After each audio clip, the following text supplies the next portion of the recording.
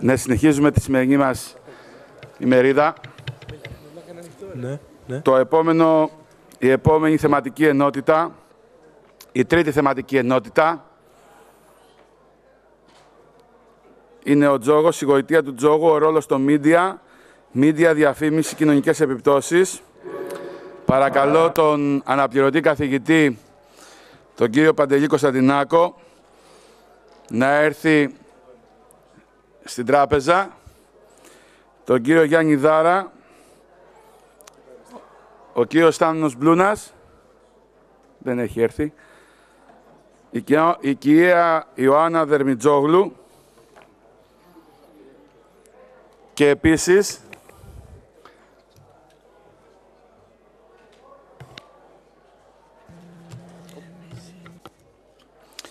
ο κύριος Μαυρίδης από το Υπουργείο Οικονομικών χωρίς να είναι στη θεματική ενότητα αλλά κρίνω αναγκαίο και απαραίτητο να τοποθετηθεί για ένα θέμα που μας ενδιαφέρει για τη διασύνδεση των φορολογικών ταμιακών μηχανών και των φορολογικών μηχανημάτων με το κέντρο πληροφορικής ενδιαφέρει τις Ιντερνετικές στοιχηματικές εταιρείες ιδιαίτερα.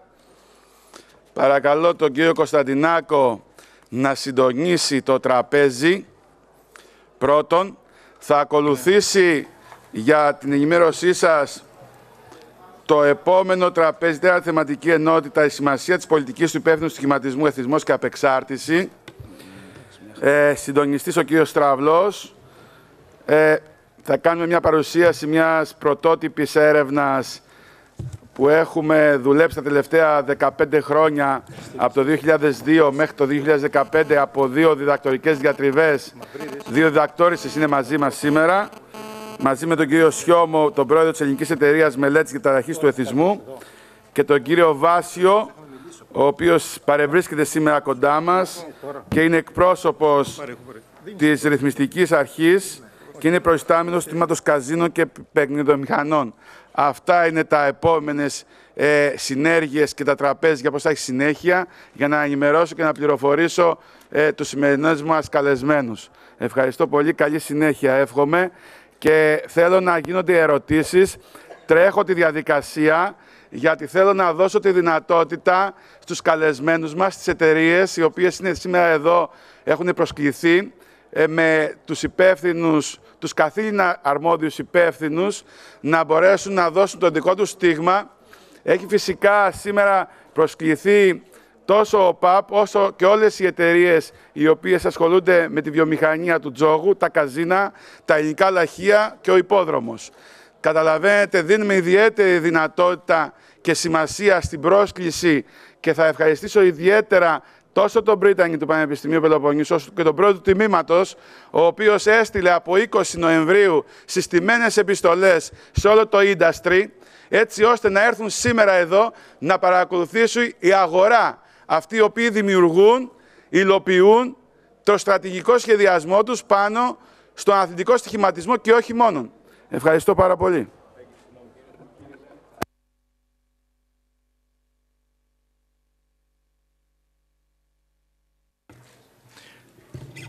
Συνεχίζουμε τη δεύτερη, την τρίτη ενότητα.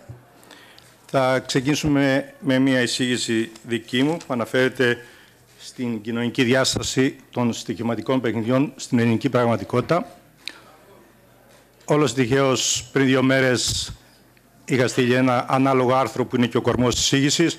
Είχε δημοσιευθεί στην εφημερίδα συντακτών, οπότε υπάρχει και ηλεκτρονικά αν κάποιος θέλει να το ο, μελετήσει.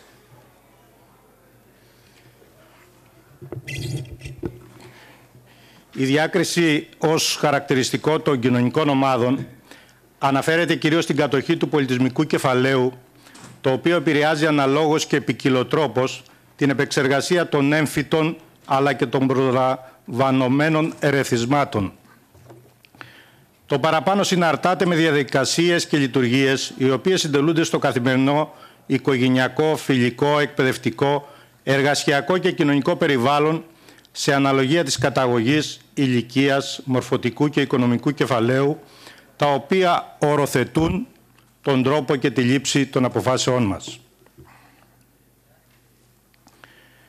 Η διάκριση στη θεωρητική της επιστημονική έκφανση, όπως αυτή καταγράφεται από τον Μπουρδιέ, οριοθετεί και κατηγοριοποιεί τα κοινωνικά στρώματα καθοριστικά και σε βαθμό που οι συμπεριφορές τους να είναι προκαθορισμένες ως αποτέλεσμα των συνηθιών, habitus, έξις, όπως αναφέρεται βιβλιογραφικά, της κοινωνικής αναφοράς που έχουν και ανήκουν.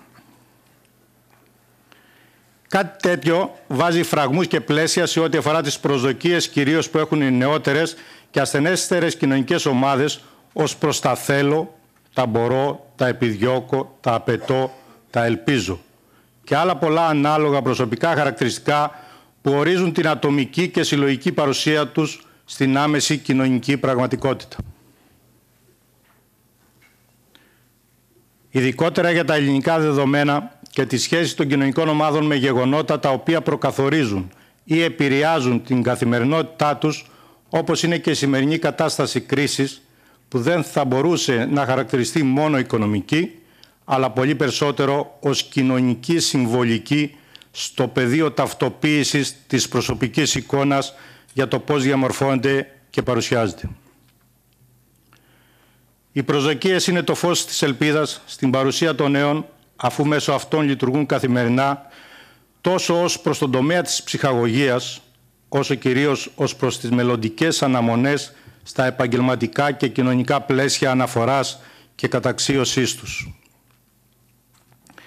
Η εύκολη διεκδίκηση νέας κοινωνικής θέσης μέσω της κινητικότητας που τόσο έντονα προβάλλουν τα ΜΜΕ και τα κοινωνικά δίκτυα και έχουν αναφορά στο χώρο του αθλητισμού επηρεάζουν καθοριστικά τον τρόπο λειτουργίας τους αλλά και τις μελλοντικές προσδοκίες τους μέσα από την εικονική προσωμείωσή τους με τα συμβολικά πρότυπα όπως αυτά του αθλητισμού. Έμεση σχέση αλλά καθοριστική είναι η κατοχή οικονομικού κεφαλαίου το οποίο θα επιτρέψει την εκπλήρωση των προσδοκιών τους όπως αυτές διαμορφώνονται με αποτέλεσμα να επιλέγουν γρήγορες και εύκολες λύσεις απόκτησης χρημάτων. Ένας καθοριστικός και άμεσος τρόπος για πλουτισμό είναι και ο στοιχηματισμός, στον οποίο η συμμετοχή διευκολύνεται με πάμπολους, νόμιμους ή παράνομους τρόπους, ανεξαρτήτως ηλικίας, κοινωνικής θέσης, επαγγέλματος και μόρφωσης.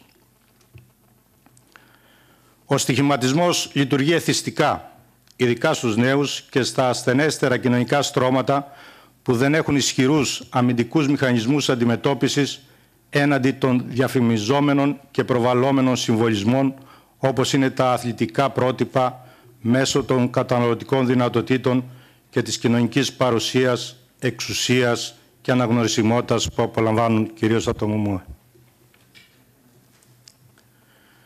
Η πρόσβαση στον αθλητικό στοιχηματισμό μέσω του ηλεκτρονικού διάβλου είναι εφικτή για τον καθένα σε βαθμό που η ανεξέλεκτη παράνομη λειτουργία να υπερκαλύπτει την ελεγχόμενη νόμιμη όπως αναφέρονται από δημοσιευμένα στοιχεία στην παγκόσμια αλλά και την ελληνική επικράτεια. Η κοινωνική διάσταση και του αθλητικού στοιχηματισμού δημιουργεί πολλαπλές αρνητικές επιπτώσεις αφού το ποσοστό κάλυψης των προσδοκόμενων επιτυχιών είναι ελάχιστο έναντι των αποτυχιών που καλύπτει το μέγιστο μέρος από τους συμμετέχοντες παίκτες με αποτέλεσμα οι ατομικές και συλλογικές επιπτώσεις να είναι πάρα πολύ σημαντικές. Ένα δημοσίευμα που είχα κόψει από μια εφημερίδα αναφέρεται σε ένα ποσό υπερβολικό 750 δις ευρώ παράνομο τζόγο με το 80% στο ποδόσφαιρο και ε, ε, τα υπόλοιπα σε άλλα αθλήματα. Επίσης από το διαδίκτυο ε, αναφέρονται οι ζημιές ζώου σε παγκόσμιο επίπεδο και βλέπουμε την Ελλάδα να είναι στο 2,8 δις σε τίσιο. Και μία προβολή που έχουν στην κάτω πλευρά μέχρι το 2015 η πρόβληση φαινόταν στα 450 δις. Αυτές οι πηγές είναι στο διαδίκτυο, τις βρίσκεται. Σε αυτό έλεγε ο Φράκ Σινάτρα για το Las Vegas, μιας και αναφέρθηκε, ότι είναι το, μέρος, το μόνο μέρος που ξέρω ότι το χρήμα πραγματικά μιλάει και λέει αντίο. Χάρη ωστόσο στι μεταβαλλόμενε νομοθετικές ρυθμίσεις και την πρόοδο στην πληροφορική και στην τεχνολογία κινητής τηλεφωνίας, μπορεί κανείς σήμερα να αποχαιρετιστεί τα χρήματά του, στοιχηματίζοντας από την άνεση του σπιτιού του. Ο διαδραστικός τζόγος, μια κατηγορία περιλαμβάνει τα αθλητικά στοιχήματα, το πόκερ, τα παιχνίδια καζίνων, του κολοχέριδες και ούτω καθεξής, με χρήση ενός οικιακού ηλεκτρονικού υπολογιστή, διαδραστικής τηλεόρασης ή κινητού τηλεφώνου, αποτελούν ένα ολοένα και πιο σημαντικό κομμάτι της παγκόσμιας αγοράς τυχερών παιχνιδιών, σύμφωνα με τις, τα στοιχεία του HT Champion Capital. Αλλά δεν είναι όμορφα κατανεμμένος ανά την υφήλιο. Έτσι λοιπόν οι δυνατότητε ηλεκτρονικού αθλητικού στοιχηματισμού, στις οποίες οι νέοι έχουν ευκολότερη πρόσβαση λόγω της χρηστικής γνώσης τεχνολογίας, δημιουργεί επιπρόσθετες υποχρεώσεις στην πολιτεία για την πρόληψη και αντιμετώπιση του φαινομένου. Οι νέες μορφές αθλητικού στοιχηματισμού στα e-sport παιχνίδια στο διαδίκτυο απαιτεί μια επιπλέον ανάγκη διαμόρφωσης κανόνων και πλαισίων ελέγχου, ειδικά στη συμμετοχή των ανήλικων νέων σε αυτές. Σίγουρα δεν μπορούν να αποτραπούν κοινωνικές λειτουργίες και όχι πάθος, θα λέγαμε είναι κοινωνική λειτουργία, όπως είναι ο νόμιμος αθλητικός σχηματισμός που μπορεί να γίνει πάθος, απλά θα πρέπει να περιοριστούν στο βαθμό της διαμόρφωσης αρνητικών εθιστικών συνηθιών. Ο ρόλος της πολιτείας ως παρατηρητή χωρίς παρέμβαση στο ανεξέλεκτο αθλητικό στοιχηματισμό εγκυμονεί για την ελληνική κοινωνία και ειδικά για τους νέους ανεπανόρθωτες καταστάσεις παθογενειών οι οποίες θα αντανακλώνται ως κοινωνικό σύμπτωμα επιδομιολογικού χαρακτήρα. Σε αυτά θα ακούσετε περισσότερο από την ειδική στη συνέχεια. Η αθλητική επιστήμη και εκπαίδευση μπορούν και πρέπει να λειτουργήσουν παρεμβατικά στην επίδραση του αθλητικού στοιχηματισμού ως εθιστικού προτύπου αρνητικής διαμόρφωσης. Παράλληλα, θα πρέπει να διαμορφωθούν ειδικά για τους νέους και κοινωνικά ασθενέστερους αντισταθισμικές, δημιουργικές και ψυχαγωγικές δραστηριότητες με άμεσους και αποτελεσματικούς τρόπους, μέσα και εργαλεία. Ευχαριστώ πολύ.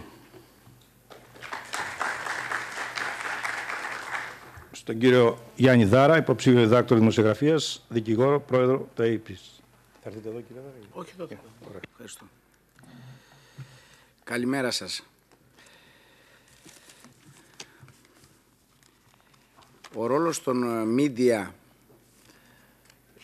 στο θέμα του στοιχηματισμού έχει αποδειχθεί τα τελευταία χρόνια πάρα πολύ σημαντικός και σαν Ευρωπαϊκή Ένωση Αθλητικών Συντακτών που εκπροσωπούμε 55.000 αθλητικούς συντάχτες σε όλη την Ευρωπαϊκή Ήπειρο, 48 χώρες, έχουμε κάνει πολλές φορές παρεμβάσεις σε διεθνείς οργανισμούς όπως την Παγκόσμια Ένωση Λοταριών, στην Ευρωπαϊκή, προκειμένου να μπουν κάποιοι κανόνες. Οι ευθύνες των δημοσιογράφων στον τομέα του στοιχηματισμού είναι μεγάλες, όπως και οι ευθύνες των μέσων μαζικής ενημέρωσης σε όλο τον κόσμο. Δυστυχώς ως τώρα οι προτάσεις που έχουμε κάνει και που είναι αρκετά ανατρεπτικές δεν γίνονται δεχτές διότι αντιλαμβανόμαστε ότι τα συμφέροντα είναι μεγάλα, τα κέρδη είναι μεγάλα και κανείς δεν θέλει να βάλει φραγμούς. Εδώ και τέσσερα χρόνια έχουμε υποβάλει σε διεθνές φόρουμ που διοργάνωσε η ΕΑΕΟΣΥ στη Λοζάνη πρόταση οι δημοσιογράφοι που εμπλέκονται με συγκεκριμένα σπορ να μην μπορούν να στοιχηματίζουν στα συγκεκριμένα σπορ που ασχολούνται. Δεν έχει γίνει ακόμα δεχτό. Το επιχείρημα ότι μπορούν να στοιχηματίζουν στο όνομα άλλων είναι σαθρό. Δεν ευσταθεί, διότι ναι μεν μπορεί να γίνει αυτό, αλλά θα μειωθεί ο στοιχηματισμός πάνω από 60-70%. Και η πρότασή μας αυτή δεν αφορά μόνο τους δημοσιογράφους, αφορά όλους τους εμπλεκόμενους σε οποιοδήποτε σε κάποιο άθλημα. Δηλαδή, όσοι εμπλέκονται στο τέννη, δημοσιογράφοι, προπονητές, αθλητές, φυσικοθεραπευτές, γιατροί, να μην μπορούν να στοιχηματίζουν στο συγκεκριμένο σπορ επώνυμα. Αυτό είναι το ένα. Γιατί δεν πρέπει να στοιχηματίζουν, είναι πολύ απλό. Γίνονται γνώστες απόρριτων πληροφοριών, τις οποίες μπορούν να χρησιμοποιήσουν για δική τους χρήση ή να τις παρέχουν σε εταιρεία, είτε πάροχο, είτε σε οποιοδήποτε άλλον και να στοιχηματίσουν έχοντας ασφαλείς πληροφορίες εκ των έσω. Πόσες φορές σε ένα άθλημα δεν λέει ο προπονητής, σε ένα ρεπόρτερ, την Κυριακή δεν θα βάλουμε αυτόν τον παίχτη, αλλά μην το πεις για να μην το ενημερωθούν οι αντίπαλοι μέσω του μέσου σου. Και πραγματικά είναι μια off the record πληροφορία. Την κρατάει ο δημοσιογράφος. Αυτό δεν σημαίνει όμως δεν μπορεί να την παίξει στο στοίχημα, να την αξιοποιήσει στο στοίχημα. Άρα θα πρέπει λοιπόν και όσοι έχουν πρόσβαση σε απόρριτες πληροφορίες, στο staff μιας ομάδας ή και οι δημοσιογράφοι να μην μπορούν να στοιχηματίζουν στο συγκεκριμένο στο τομέα αρμοδιότητάς τους. Και αυτό αν γίνει σε παγκόσμιο επίπεδο θα μειωθεί πάρα πολύ το πρόβλημα. Όπως επίσης μια άλλη πρόταση η οποία φυσικά δεν έχει γίνει δεκτή ήταν να σταματήσει ο online στοιχηματισμός που από ό,τι έχει βγάλει πόρισμα της Παγκόσμιας Ομοσπονδίας Ένωση Λοταριών είναι η μεγάλη πληγή ε, του στοιχήματος. Άρα υπάρχουν λύσεις για να μπούμε σε πιο ασφαλή μονοπάτια. Αν θέλουμε. Αν δεν θέλουμε όμως δεν θα γίνει τίποτα. Παλιά έλεγαν ότι το εμπόριο ναρκωτικών και το εμπόριο όπλων ήταν οι τρόποι διακίνησης και το ξέπλυμα ξεπλήματος του μαύρου χρήματος. Τώρα πλέον έχουν αλλάξει τα πράγματα. Δεν είναι ούτε τα ναρκωτικά ούτε τα όπλα. Είναι το εμπόριο οργάνων και το στίχημα. Αυτά τα δύο. Και αν για το εμπόριο οργάνων είναι γνωστή και καταγεγραμμένη μια χώρα αραβική, κυρίως εκεί πραγματοποιούνται μεταμοσχεύσεις από παιδιά που αγνούνται, που εξαφανίζουν από όλο τον κόσμο, ε, για το στίχημα δεν μπορούμε να το προσδιορίσουμε σε μια χώρα, διότι πλέον έχει εξαπλωθεί σε όλο τον κόσμο. Ίσως δεν είναι, αν το γνωρίζετε, ότι έχουν δολοφονηθεί πολλοί δημοσιογράφοι τα τελευταία τρία χρόνια στην Ιταλία, ειδικά στην Νότια Ιταλία και στη Σικελία. Δημοσιογράφοι που ασχολούνταν με το στίχημα. Αυτό κάτι σημαίνει ότι η εμπλοκή των μίντια και των δημοσιογράφων σε αυτόν τον κόσμο του στοιχήματος είναι άμεση. Πώς αναλύεται λοιπόν ο ρόλος των δημοσιογράφων; Οι δημοσιογράφοι απασχολούνται σε εφημερίδες, site και περιοδικά για το στίχημα. Τι κάνουν, αναφέρουν πληροφορίες, κάνουν αναλύσεις και προβλέψεις για αγώνες. Αυτές είναι τρεις κατηγορίες. Οι αποδόσεις πάλι που δίνουν οι εταιρείες και ο ΠΑΠ και οι υπόλοιπες εταιρείες στηρίζονται σε πληροφορίες που σύμφωνα με, πληροφορίες, που σύμφωνα με όλες τις ενδείξεις δίνουν δημοσιογράφοι.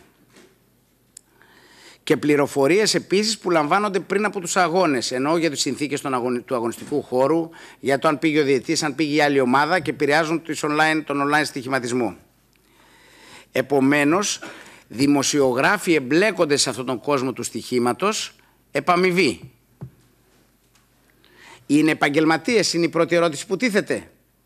Γιατί υπάρχουν ενδείξεις ότι πάρα πολλές στοιχηματικές εταιρείες ή εταιρείες υπάροχοι χρησιμοποιούν ανθρώπους που δεν είναι δημοσιογράφοι.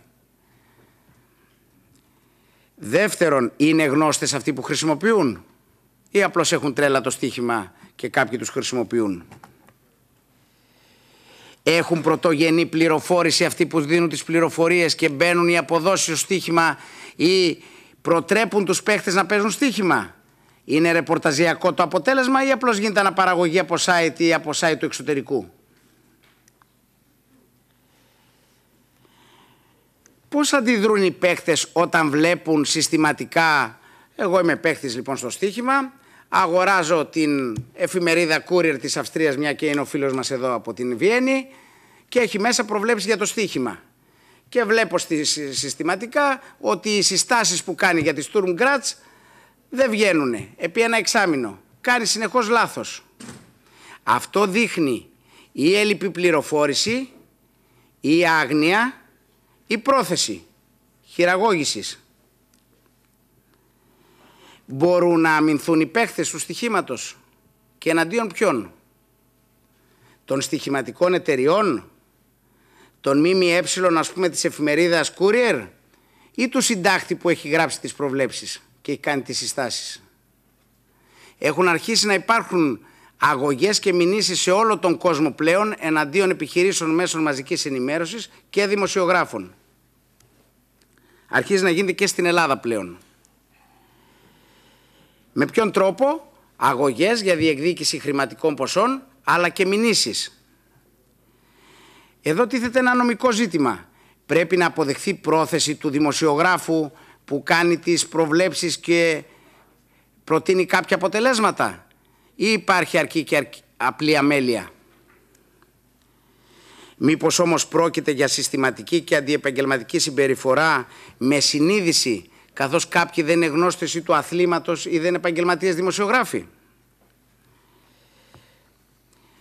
Τι θα γίνει στην περίπτωση που ο παίχτης που χάσει πολλά λεπτά, χρήματα ή και μια ε, συνεργασία, μια ομάδα παιχτών που χάσουν πολλά λεφτά, επενδύσουν σε ένα μάτς, σε ένα αγώνα ποδοσφαίρου, σε ένα αγώνα τέννις, αποδείξουν ότι το μέσον, η εταιρεία ή ο δημοσιογράφος που προέτρεψε παράδειγμα για το παιχνίδι Rapid Vienna Sturm Graz ότι θα νικήσει Sturm Graz, ότι προσωπικά έχει παίξει στο στοίχημα το αντίθετο ακριβώς αποτέλεσμα. Τι θα γίνει σε αυτήν την περίπτωση; Σημασία έχει η ακρίβεια της πρόβλεψης ή των στοιχείων που παρατίθεται. Για παράδειγμα, ποιος παίχτης αγωνίζεται και ποιος όχι. Σε ποιο, και ποιος είναι ο βαθμός ευθύνης του δημοσιογράφου. Εδώ υπησέρχονται και άλλοι παράγοντες. Πολλές φορές οι προπονητές, τα προπονητικά team, οι γιατροί, οι φυσικοθεραπευτές, τα γραφεία τύπου των ομάδων δίνουν λανθασμένες λανθασμένη πληροφόρηση ή αποκρύβουν πληροφόρηση ακριβώς για να μην εξυπηρετηθεί ο αντίπαλος, η άλλη ομάδα. Αυτά μέσω των social media πλέον επεκτείνεται και γίνεται η πληροφόρηση αυτή φτάνει στους παίχτες.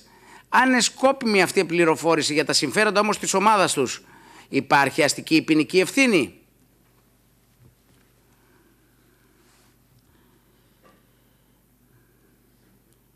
Υπάρχει ευθύνη των ομάδων και είναι η θελημένη ή αθέλητη; Γιατί πολλές φορές μπορεί να ισχυριστεί ο προπονητής ότι ε, ναι, εγώ δεν θα χρησιμοποιούσα 6-7 παίχτες, τελευταία στιγμή ο γιατρός μου έδωσε την έγκρισή του και τους χρησιμοποιώ κανονικά και παίζουν.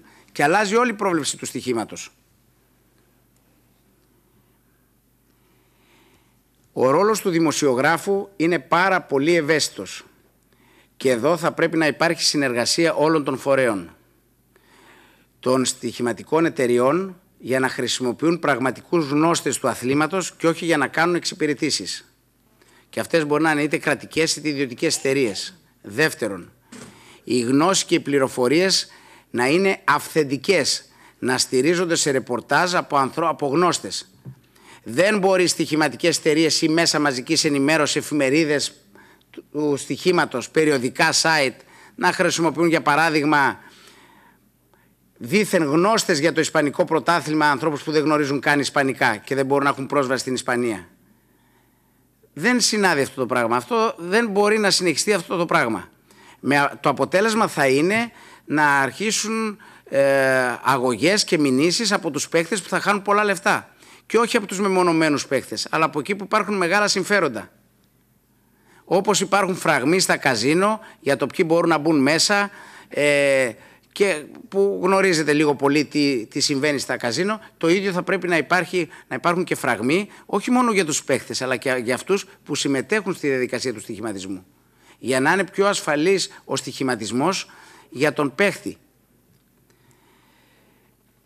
Έχουν βάλει όριο ηλικιακό. Ε, γνωρίζετε πλέον ότι πάρα πολλά πιτσιρίκια με τα τάμπλετ, με το ίντερνετ που υπάρχει παντού, μπαίνουν και στοιχηματίζουν. Έχουν, υπάρχουν πάρα πολλά παραδείγματα και στην Ελλάδα το τελευταίο διάστημα, ακόμη και με τις πιστοτικές κάρτες των γονιών τους. Στηριζόμενοι πού, σε site κυρίως, ε, που προτείνουν κάποιες προβλέψεις και λένε ε, αφού ο Δάρας ξέρει από το Champions League, άμα τον ακούσουμε και διαβάσουμε τι θα γράψει, έχουν περισσότερες πιθανότητες να το πετύχουμε. Εγώ δεν λέω να υπάρχει σκοπιμότητα. Εγώ λέω να υπάρχει ελλειπής πληροφόρηση. Τον οδηγούμε σε άλλα μονοπάτια τον παίχτη. Και πολύ περισσότερο όταν υπάρχει πρόσβαση από ανήλικους. Με αποτέλεσμα να εθίζεται ένα κοινό και να δημιουργούνται πελάτες στην κρίσιμη ηλικία των 16 μέχρι 19 ετών. Που αυτό μετά γίνεται πάθος. Και εδώ η ευθύνη και των δημοσιογράφων και των μίντια είναι πάρα πολύ μεγάλη. Αλλά θα πρέπει και οι στοιχηματικές εταιρείες να συνεργαστούν, θα πρέπει να επέμβει και να υπάρχει συνεργασία με την πανεπιστημιακή κοινότητα. Θα πρέπει η νέα γενιά των δημοσιογράφων που είναι ούτως ή άλλως πολύ καλύτερη και πιο μορφωμένη ε, να θέλει να παρέμβει, να έχει τις γνώσεις για να παρέμβει, για να ε, μην γίνει αυτό το πάθος για το στοιχηματισμό μια τρέλα που θα οδηγήσει σε μονοπάτια. Και έχει αποδειχθεί ότι στις κοινωνίες που διέρχονται βαθιάες βαθιά οικονομική κρίση όπως είναι και η ελληνική, ε, ο στοιχηματισμός και ο τζόγος ανεβαίνει. Θα πρέπει λοιπόν να μπουν φραγμοί και οι δημοσιογραφικές ενώσεις θα πρέπει να αναλάβουν τις δικές τους ευθύνες. Δεν μπορούμε να βγάζουμε την ουρά μας απ' έξω. Από εκεί και πέρα όμως θα πρέπει να υπάρχει συνεργασία με όλους τους φορείς, όχι μόνο πανευρωπαϊκά, διεθνώς, για να μπορέσουμε να σώσουμε ό,τι μπορούμε και να βάλουμε κάποιους κανόνες και να λειτουργήσει το σύστημα με περισσότερη ασφάλεια και περισσότερη νομιμότητα. Σας ευχαριστώ πολύ. Ευχαριστούμε τον κύριο Δάρα. Συνέχεια η εισήγηση θα κάνει η κυρία Ιωάννα Δεμιτζόγλου, κοινωνική λειτουργός, ψυχοθεραπεύτρια, εκπρόσωπος του ΚΕΘΕΑ. Λόγω σε εσάς κύριε. Καλησπέρα και από μένα. Ε, εγώ εργάζομαι στο ΚΕΘΕΑ. Το ΚΕΘΕΑ, για όσους δεν γνωρίζετε, είναι το Κέντρο Θεραπείας Εξαρτημένων Ατόμων, ε, στα πλαίσια του οποίου λειτουργεί το ΚΕΘΕΑ Α από το 2003. Είναι πρόγραμμα που είναι σχεδιασμένο, αφορά συγκεκριμένα την απεξάρτηση με παροχή υπηρεσιών συμβουλευτικής θεραπείας και μεταθεραπευτικής φροντίδας ε, για χρήστες και εξαρτημένους από τις νόμιμες εξαρτήσεις του αλκοόλ και της προβληματικής ανασχόλησης με τα τυχερά παιχνίδια. Ε, ο πληθυσμός, η αλήθεια είναι ότι είναι πάρα πολύ μεγάλος. Είναι το μοναδικό πρόγραμμα του ΚΕΘΕΑ που έχει λίστα αναμονής. Όπως όλα τα προγράμματα, ε, είναι εθελοντικής προσέλευσης και δωρεάν και παρέχει υπηρεσίες και στην οικογένεια. Επίσης, στα πλαίσια του προγράμματος λειτουργεί ε, τα τελευταία περίπου πέντε χρόνια και γραμμή υποστήριξης συμβουλευτικής και για συγγενείς, αλλά και για παίχτες, ε, με δυνατότητα παραπομπής. Τώρα, ε, το θέμα που έχω επιλέξει εγώ είναι σε σχέση με το υπεύθυνο παιχνίδι, όπως αυτό ορίζεται σε ένα θεραπευτικό πλαίσιο, και τη θεραπευτική προσέγγιση της προβληματικής ανασχόλησης με αυτό, όπως εμείς τη δουλεύουμε στο ΚΕΘΕΑΛΦΑ. Ε, να πούμε λίγο πώς ορίζεται το υπεύθυνο παιχνίδι. Παίζω για διασκέδαση δαπανώντας ένα προκαθορισμένο ποσό και για συγκεκριμένη ώρα. Ε, σε σχέση με το υπεύθυνο παιχνίδι τώρα, η έννοια αυτή αφορά ενέργειες και πολιτικές για προστασία παιχτών, καταναλωτών και ανηλίκων από πιθανότητα πρόκλησης βλάβης. Ενέργειες και πολιτικές για fair play, λοιπόν, μέσα σε ένα ασφαλές περιβάλλον. Ε, σε αυτό το σημείο σημαντικό είναι το κομμάτι της κοινωνικής ευθύνης, ε, αν και έχει αναλυθεί και από τους προηγούμενους ομιλητές. Η έννοια της κοινωνικής ευθύνης είναι ουσιαστική, σημαντική, ώστε μέσα από δράσεις να αποφευχθούν βλάβες του προβληματικού παιχνιδιού. Το υπεύθυνο παιχνίδι είναι αποτέλεσμα συλλογικής και ατομικής εμπλοκής ατόμων και κοινωνίας, των επιχειρήσεων, των τυχερών παιχνίων και κυβερνητικής πολιτικής. Ε, στοιχεία τώρα που ενισχύουν το υπεύθυνο παιχνίδι.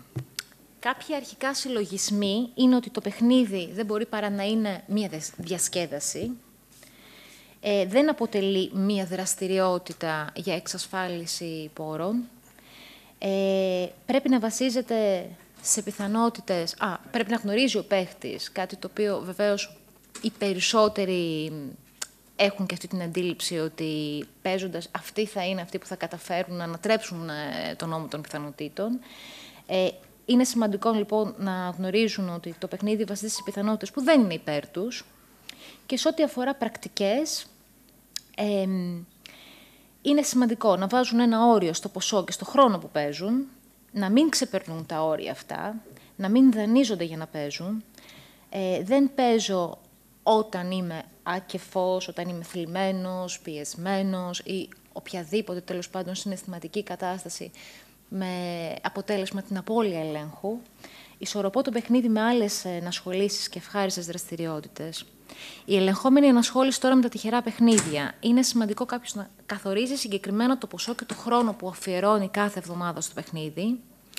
Δεν ξαναπέζει μες στη βδομάδα αν χάσει, αν κερδίσει τοποθετεί το κέρδος σε ξεχωριστό λογαριασμό, περιμένει μέχρι την επόμενη εβδομάδα, αν και αυτό το πράγμα συνήθως δεν γίνεται, και τηρεί τη συμφωνία με τον εαυτό του για το ποσό ανεξάρτητα από το κέρδος ε, ή αν έχει χάσει κάποια χρήματα. Τώρα, τι σημαίνει ελεγχόμενη ενασχόληση; Αρχικά σημαίνει ότι δεν υπάρχει συνεχιζόμενη ενασχόληση εναλλασσόμενη ημέρα παιχνιδιού ο οικονομικός στόχος είναι προσιτός, εγώ ελέγχω και καθορίζω χρόνο, χώρο, ποσό και διάρκεια του παιχνιδιού και τα περιστασιακά κέρδη τοποθετούνται χρονικά και υλικά μέχρι την επόμενη φορά. Ενδείξεις μη υπεύθυνου παιχνιδιού. Παίζω και να κερδίσω το, τα χαμένα. Παίζω περισσότερο από όσο καθορίσει και από όσο μπορώ να διαθέσω.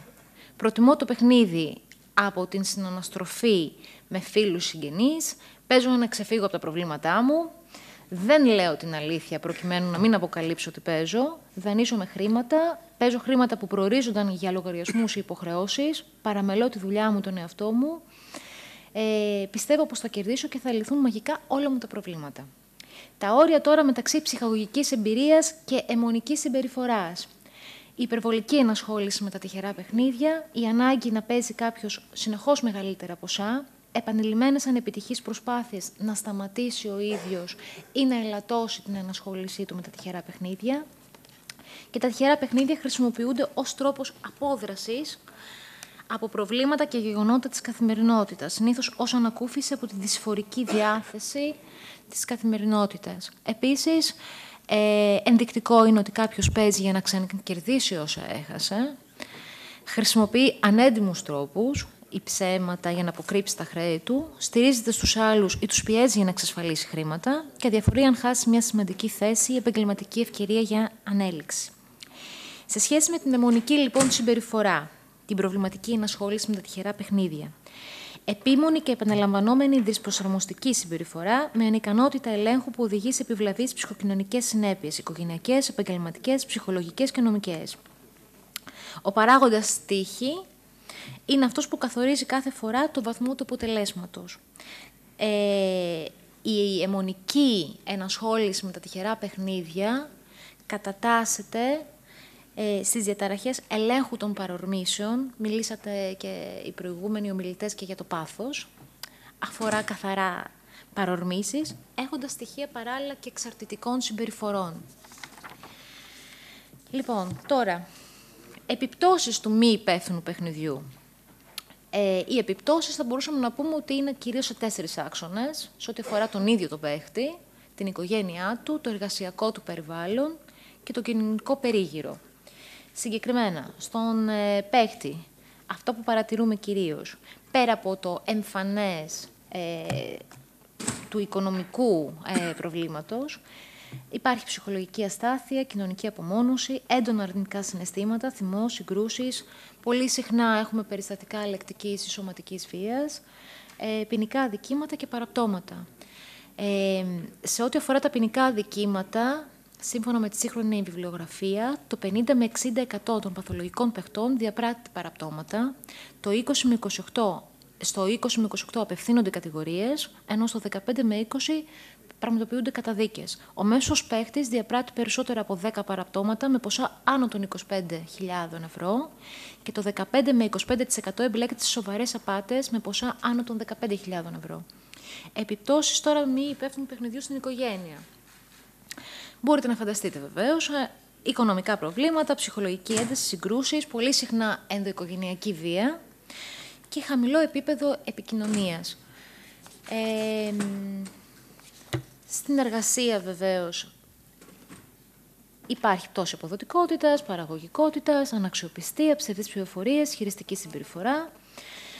Ε, τώρα, τι κάνουμε στην περίπτωση που ένας άνθρωπος παρουσιάζει μια αιμονικού τύπου ενασχόληση με τα τυχερά παιχνίδια, ποια είναι η δική μας θεραπευτική πρόταση; Η θεραπευτική πρόταση ε, βασίζεται στο ολιστικό μοντέλο προσέγγισης, δηλαδή η θεραπευτικός σχεδιασμός στηρίζεται στα ατομικά χαρακτηριστικά κάθε ατόμου, είναι εξατομικευμένο πλάνο θεραπείας. Ε, ο άνθρωπος αξιολογείται μέσα στο πλαίσιο που λειτουργεί, στην οικογένεια, στο ζεύγος, στο κοινωνικό και εργασιακό περιβάλλον. Οι στόχοι του προγράμματός μας συγκεκριμένα είναι η σταδιακή μείωση της συχνότητας του προβληματικού τζόγου, αποχή από την ενασχόληση με τα τυχερά παιχνίδια, αντιμετώπιση των προβλημάτων ψυχικής υγείας, βελτίωση των στάσεων και συμπεριφορών, αλλαγή της νοοτροπίας της εξαρτητική συμπεριφοράς, διερεύνηση ψυχιατρικών προβλημάτων. Πολύ συχνά υπάρχει ε, διαφορική διάγνωση ή διπλή διάγνωση σε ανθρώπους που παρουσιάζουν αιμονική ενασχόληση με τα τυχερά παιχνίδια, ε, εντοπισμός παραγόντων της δυσπροσαρμοστικής αυτής συμπεριφοράς και τέλος γίνεται και μια ερευνητική δουλειά. Ε, συγκεκριμένα τώρα σε ό,τι αφορά τη θεραπευτική πρόταση. Υπάρχει εξατομικευμένη αντιμετώπιση του ατόμου, ατομική συμβουλευτική, ομάδες ανωνύμων αυτοθεραπευόμενων τζογαδόρων που βασίζονται στις ε, ομάδες ΑΑ των 12 βημάτων, ε, οικογενειακή θεραπεία, θεραπεία ζεύγους, ομάδες ανωνύμων αυτοθεραπευομένων συγγενών που λειτουργούν παράλληλα, δραματοθεραπεία, χωροθεραπεία, διαδραστικό θέατρο και ψυχοτικές ομάδες παιδιών και νεαρών εφήβων. Ε, πραγματοποιούν δηλαδή ομάδες αντίστοιχες αυτοθεραπευομένων με ανήλικα παιδιά άνω των 15 ετών που είναι συγγενείς με την προϋπόθεση ότι συμμετέχει ένας από τους, γονιού, από τους γονιούς στο πρόγραμμα τουλάχιστον. Τώρα, ε, κλείνοντας, για να ελπίζω να μην σας κούρασα, αυτό που θα ήθελα να τονίσω είναι τη, και τη σημασία της εμπλοκής της οικογένειας στη θεραπεία. Ε, ε, σκοπός είναι η κατανόηση και αναγνώριση των παραγόντων που οδήγησαν στην εξαρτητική συμπεριφορά. Αυτό που έχουμε παρατηρήσει είναι ότι δεν αφορά ένα άτομο, τον παίχτη, αλλά στην περίπτωση προβληματικής ανασχόλησης με τον τζόγο, όπως και σε κάθε μορφή εξάρτησης, ο τζόγος έχει μπει σε μια οικογένεια. Οπότε έχει διαμορφώσει τρόπος επικοινωνίας, διαχείρισης καταστάσεων και με έναν τρόπο όλοι εμπλέκονται σε αυτό. Ε, οπότε είναι σημαντικός ο προσδιορισμός των δυσκολιών ως προς την εξελικτική πορεία της οικογένειας, ένας επαναπροσδιορισμός εταιρική δομής, εντοπισμός των προβλημάτων της σχέσης, μείωση των συγκρούσεων που θα βοηθήσει ένα άτομο να εξελίξει τη θεραπευτική του διαδικασία και ανάδειξη της ε, αμοιβέ οικογενειακής ενότητας και συμπληρωματικότητας. Ε, αυτά είναι ενδεικτικά κάποια από τα πράγματα που κάνουμε εμείς. Ευχαριστώ πάρα πολύ για τον χρόνο σας. Ευχαριστούμε την κυρία Δημητζόγλου. Συνέχεια είναι ο κύριος Μαυρίδης από το Υπουργείο Οικονομικών, ο οποίος θα μας πει και το θέμα της εισήγησής του. Κύριε Μαυρίδη, ο λόγος. Καλησπέρα σας. Ε, λέγομαι Μαυρίδης Παναγιώτης, είμαι μηχανικός ηλεκτρονικών υπολογιστών και είμαι προϊστάμενος των ε, ταμιακών μηχανών στο Υπουργείο Οικονομικών. Η εισήγησής μου είναι τεχνικής φύσεως και θα τέριαζε πιο πολύ στην προηγούμενη τράπεζα, αλλά δεν πειράζει.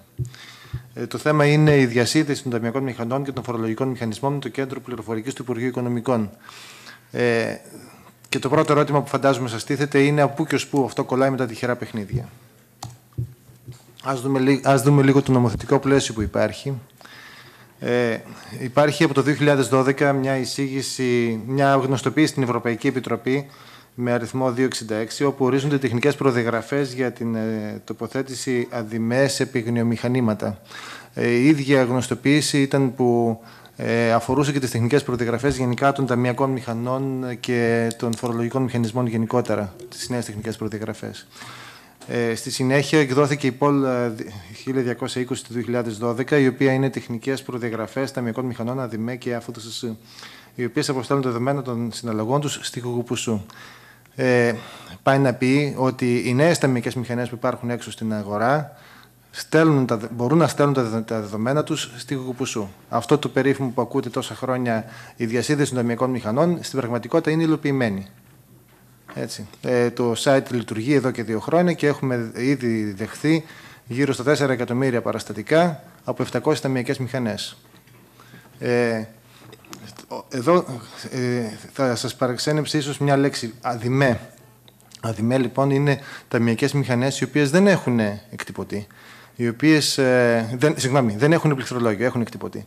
Ε, και οι οποίες καθοδηγούνται από κάποιο άλλο σύστημα. Τι μπορεί να είναι αυτό το σύστημα, Μπορεί να είναι ένας υπολογιστής, μπορεί να είναι ένα ταξίμετρο, μπορεί να είναι όμως και ένα παιγνιομηχάνημα. Άρα λοιπόν, κατά τη στιγμή που ε, ξεκινάει ένα παιγνιομηχάνημα να παίζει, ο ΑΔΙΜΕ μπορεί να συλλέγει τα δεδομένα και να τα στέλνει στο Κέντρο Πληροφορικής του Υπουργείου Οικονομικών. Ε, το τρίτο που πρέπει να έχουμε υπόψη μας είναι ο νόμος 4308 του 2014 με, την, με τον οποίο καθορίζεται ότι η ΠΟΛ 1220, ΠΟΛ σημαίνει πολυγραφημένη διαταγή, ε, εξακολουθεί να είναι σε ισχύ. Ας δούμε πώς γίνεται η διασύνδεση. Εδώ θα δείτε ότι έχω έναν αδημέ, δηλαδή έναν φορολογικό εκτυπωτή, ο οποίος συνδέεται σε ένα μηχάνημα. Το μηχάνημα αυτό μπορεί να είναι ένας υπολογιστής, μπορεί όμως να είναι ένα ταξίμετρο, μπορεί να είναι ε, οτιδήποτε τέλος πάντων, ένα πυγνίο μηχάνημα. ε, και, το, και ο ΑΔΙΜΕ στέλνει κατευθείαν τα δεδομένα του, δηλαδή ο φορολογικός εκτυπωτής στέλνει κατευθείαν τα δεδομένα του για κάθε συναλλαγή στο κέντρο πληροφορικής του Υπουργείου Οικονομικών. Στο κάτω μέρος, με την κόκκινη γραμμή, ε, δείχνω ένα EFT POS. Τα EFT POS είναι Electronic Food Transfer ε, Point of Sales, δηλαδή είναι τα μηχανάκια τα οποία ξέρουμε έξω σαν POS και στα οποία μπαίνουν οι πιστοτικές ή οι χρεωστικές κάρτες και εκεί τα δεδομένα αποστέλλονται μέσω της κόκκινης γραμμής στη μια τράπεζα και από την τράπεζα μπορούν να σταλούν επίσης ε, στο κέντρο πληροφορικής του Υπουργείου Οικονομικών. Για ποιο λόγο, προκειμένου να έχουμε και έναν δεύτερο πυλώνα διασταύρωσης των δεδομένων. Δηλαδή για να εντοπίζουμε και τις συναλλαγές εκείνες οι οποίες έχουν γίνει με χρήση πιστοτικής κάρτας χωρίς να έχει κοπεί παρόλα αυτά απόδειξη ταμιακής μηχανής. Σε αυτό το slide βλέπετε ε, το αρχείο αποστολής. Το αρχείο αποστολής των δεδομένων ε, το οποίο ε, έρχεται σε εμάς αποτελείται από πολλές γραμμές, μία γραμμή για κάθε συναλλαγή που πραγματοποιείται και ε, για κάθε συναλλαγή από αυτές έχουμε χωριστά τα στοιχεία ε, ΦΠΑ της συναλλαγής, έχουμε ε, χωριστά τα στοιχεία της καθαρής αξίας, ε, την ημερομηνία και την ώρα της συναλλαγής. Γενικά έχουμε μια πλήρη ανάλυση. Ε, όλα αυτά σημαίνουν, ε, επίσης πριν την αποστολή όλων αυτών υπολογίζονται, υπολογίζεται κάποιο hash, είναι ένας τρόπος αυθεντικοποίησης και στη συνέχεια κρυπτογραφούνται όλα αυτά τα δεδομένα έτσι ώστε να έρχονται σε εμάς χωρίς ε, να υπάρχει κίνδυνος κατά τη διαδρομή να υποκλαπούν από κάποιον. Όλα αυτά τι σημαίνουν. Αυτά σημαίνουν ότι για το κάθε τιμολόγιο, για την κάθε απόδειξη λενικής, για, ε, ε, για το κάθε παιχνίδι που θα παιχθεί πιθανώς, ε, μπορούμε να μαζέψουμε τα δεδομένα.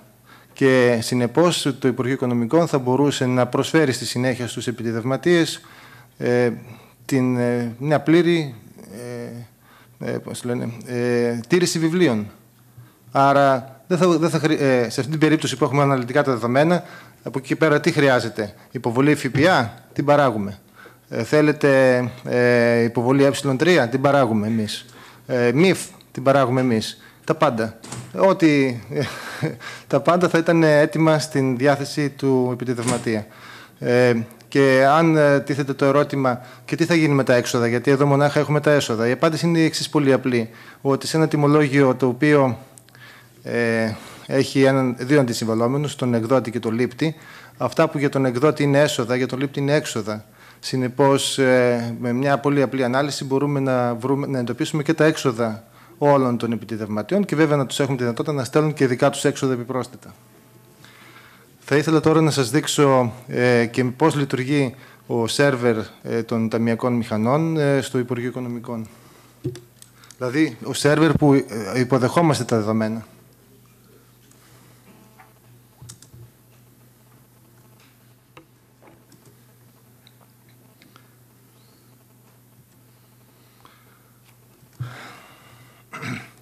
Ο πιο, εύκολο, ο πιο εύκολος τρόπος για να μπει κανείς στο σερβερ είναι να μπει μέσα στο site της Γουπουσού χωρίς username και password και ε, να μπει εκεί που λέει οδηγίες εφαρμογής της Γουγουδουέ για τον έλεγχο νοημότητας των ταμιακών μηχανών.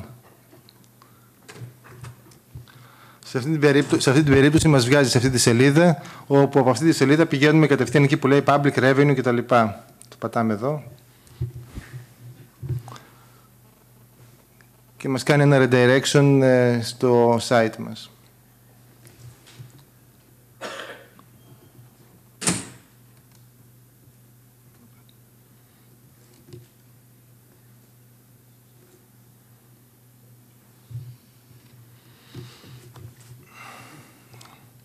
Το ίντερνετ είναι κάπως αργό.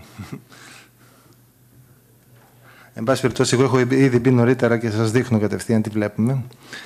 Ε, εδώ έχω μπει λοιπόν σε έναν δοκιμαστικός χρήστης και βλέπω την ανάλυση των δεδομένων από μια ταμιακή μηχανή. Η ίδια ανάλυση θα μπορούσε να είναι από κάποιον αδημαίο, ο οποίος συνδέεται σε κάποιο πηγανίο μηχάνημα. Παρατηρούμε ότι για κάθε, ένα, για κάθε μια απόδειξη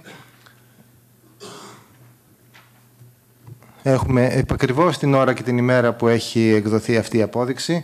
Έχουμε το αφημί του εκδότη, ε, πιθανώς την κάρτα αποδείξεων που έχει χρησιμοποιήσει ο πολίτης ε, και την καθαρή αξία κατά κατηγορία ΦΠΑ τα βλέπετε εδώ, κατά καθαρή αξία α, β, γ, δ και ε. Για όσου από εσάς αναρωτιόνται τι είναι το δ, είναι το ΦΠΑ 36% που είχε ισχύσει για δύο μήνες μονάχα το 1990 και ύστερα αλλά δεν έχει καταργηθεί σαν νομική υπόσταση. Ε, και τα αντίστοιχα ποσοστά ΦΠΑ. Άρα λοιπόν, από μια τέτοια ανάλυση, εμείς μπορούμε να, να έχουμε την πλήρη γνώση για το κάθε κατάστημα, πότε εκδόθηκε κάθε απόδειξη. Και πότε βέβαια παίχθηκε το κάθε παιχνίδι. Ε, θέλω να επισημάνω σε όλη αυτή την ιστορία ότι ε, ενώ στην, ε, στις, ε, στη γνωστοποίηση που ανέφερα αρχικά ε, υπήρχαν τα αδημέ για τα παιγινομηχανήματα, στην ΠΟΛ 1220 δεν συμπεριλήφθηκε. Αυτό είναι θέμα πολιτικής απόφασης ε, και απλώς εμείς ε, είμαστε έτοιμοι σαν τεχνικό τμήμα να εφαρμόσουμε τις οδηγίες αν χρειαστεί. Σας ευχαριστώ πολύ. Ευχαριστούμε τον κύριο Μαυρίδη. Εδώ κλείνει η ενότητα αυτή. Ε, μπορούν να προηγηθούν ερωτήσεις βέβαια πριν κλείσουμε σε όλους τους ομιλητές. Παρακαλώ. Κύριε. όνομά σας, την ιδιότητα, αν θέλετε. Ναι, καλησπέρα σας. Καραγρηγορίου Τέλειο λέγομαι, από το betmarket.gr, την ιστοσελίδα. Θα ήθελα να κάνω μια παρατηρήση στον κύριο Δάρα. Δύο παρατηρήσεις, μάλλον. Ότι σε σχέση με τις αγωγές εναντίον δημοσιογράφων για τα προγνωστικά στο στοίχημα, μου κάνει λίγο εντύπωση αυτό και ότι έχει γίνει και παγκοσμίως. Δηλαδή ότι έχουν κάνει αγωγές παίκτες που ακολουθούσαν κάποιον δημοσιογράφο σε προγνωστικά. Διότι Καταρχήν είμαστε ελεύθεροι άνθρωποι. Δηλαδή, εγώ αν θέλω π.χ. ακολουθώ εσάς, μία, δύο, πέντε, μετά μπορεί να μην ακολουθήσω. Δεν μπορώ να καταλάβω πώς στέκει νομικά το να σας κάνω μήνυση αν χάσω π.χ. επί ένα μήνα χάνω συνέχεια. Επίσης, μου δίνετε π.χ. ένα σημείο διαφορετικό από αυτό που κερδίζει. Ένα αυτό. Και το δεύτερο είναι ότι οι εφημερίδες του στοιχήματος που βγαίνουν, ε, κάποιος ε, όχι νοήμων, ε, σχετικά με πολύ απλή λογική, ότι όταν εγώ π.χ. διαβάζω ένα ένθετο της Τρίτης και λέει για αγώνες του Σαββάτου και λέει για κάποιο σημείο, φυσικά δεν θα δώσει σημασία διότι άλλο Τρίτη, άλλο Σάββατο που έχουν αλλάξει τα δεδομένα. Οπότε και αυτό είναι λίγο, μου φαίνεται, και αυτό πάλι δεν, ε, δεν στέκει για μένα για να π.χ. να κάνω αγωγή στο περιοδικό. Αυτό.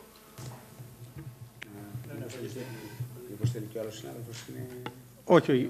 Μία-μία δεν απαντάμε.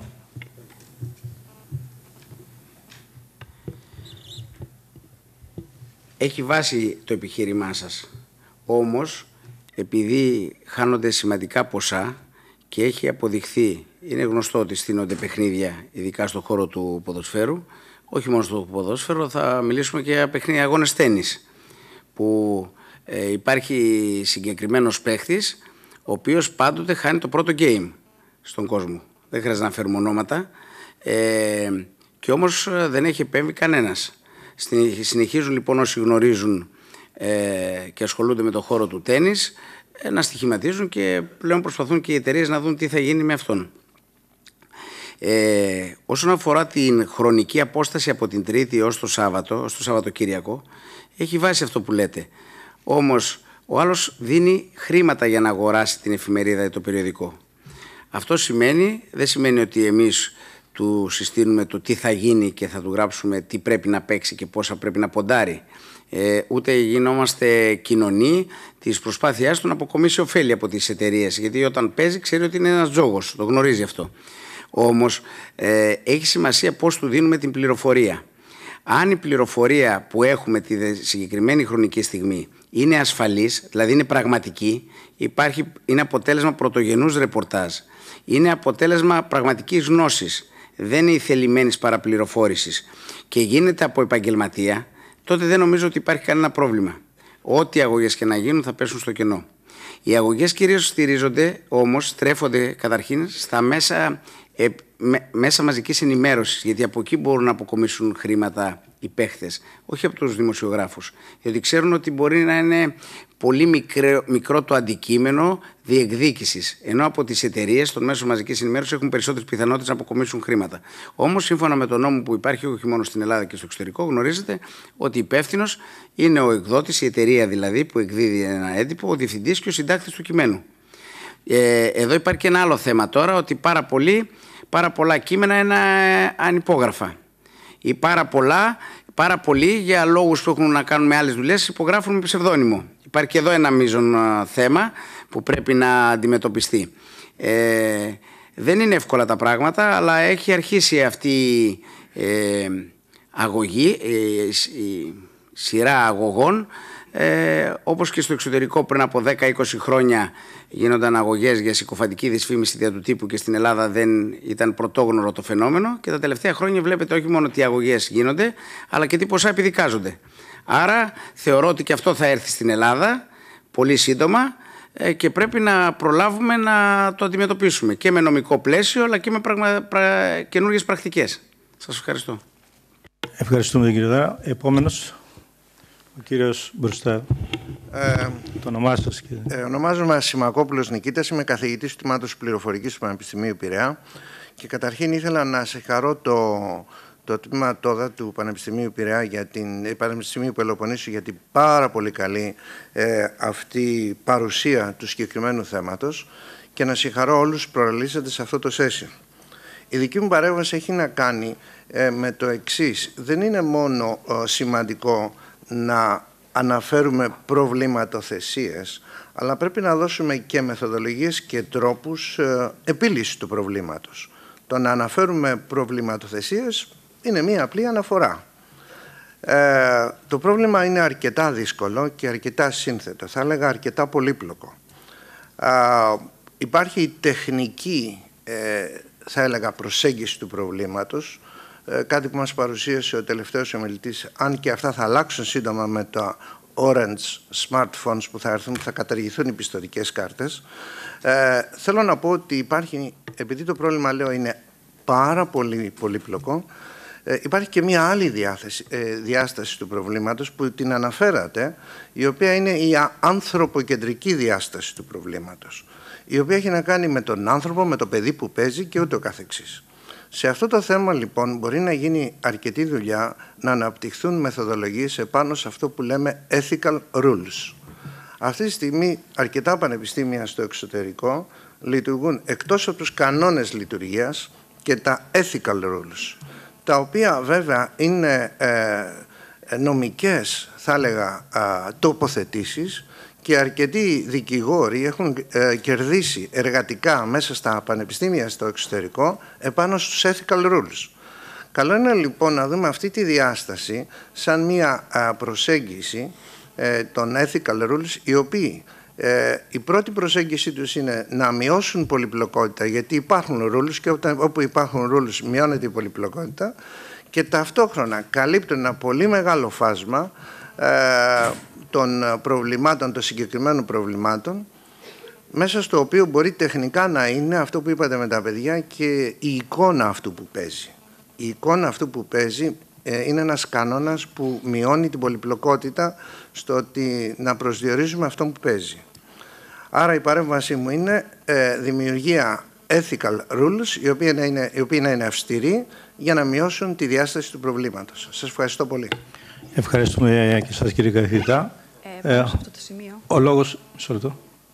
Ε, συγγνώμη που θα τοποθετηθώ. Ε, Καψαλάκη λέγομαι από την Επιτροπή Εποπτείας Παιγνίων.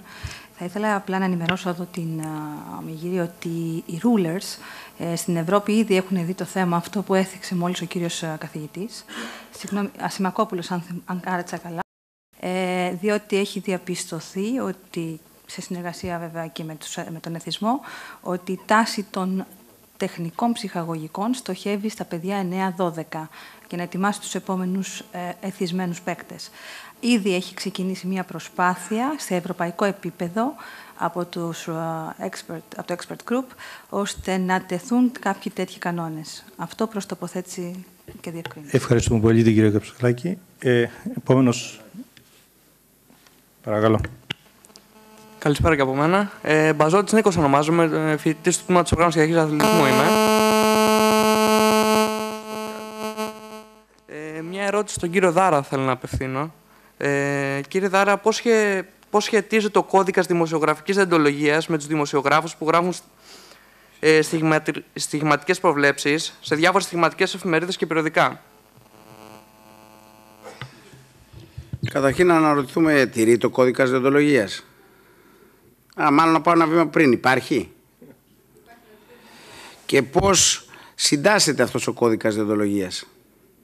Ποιοι έχουν εμπλακεί για να το συντάξουν; Τι προϊόν είναι δηλαδή; Είναι προϊόν συνεργασίας των δημοσιογραφικών φορέων, είναι της πανεπιστημιακής κοινότητας; Ε, υπάρχουν κανόνες ηθικής που πρέπει να τηρούνται και πρέπει να είναι πάνω από τους νόμους του κράτους; Όπως είδατε τώρα στην ε, FIFA, ε, οι κανόνες διοντολογίας και οι επιτροπές ηθικής ήταν αυτές που ανέτρεψαν το όλο σύστημα.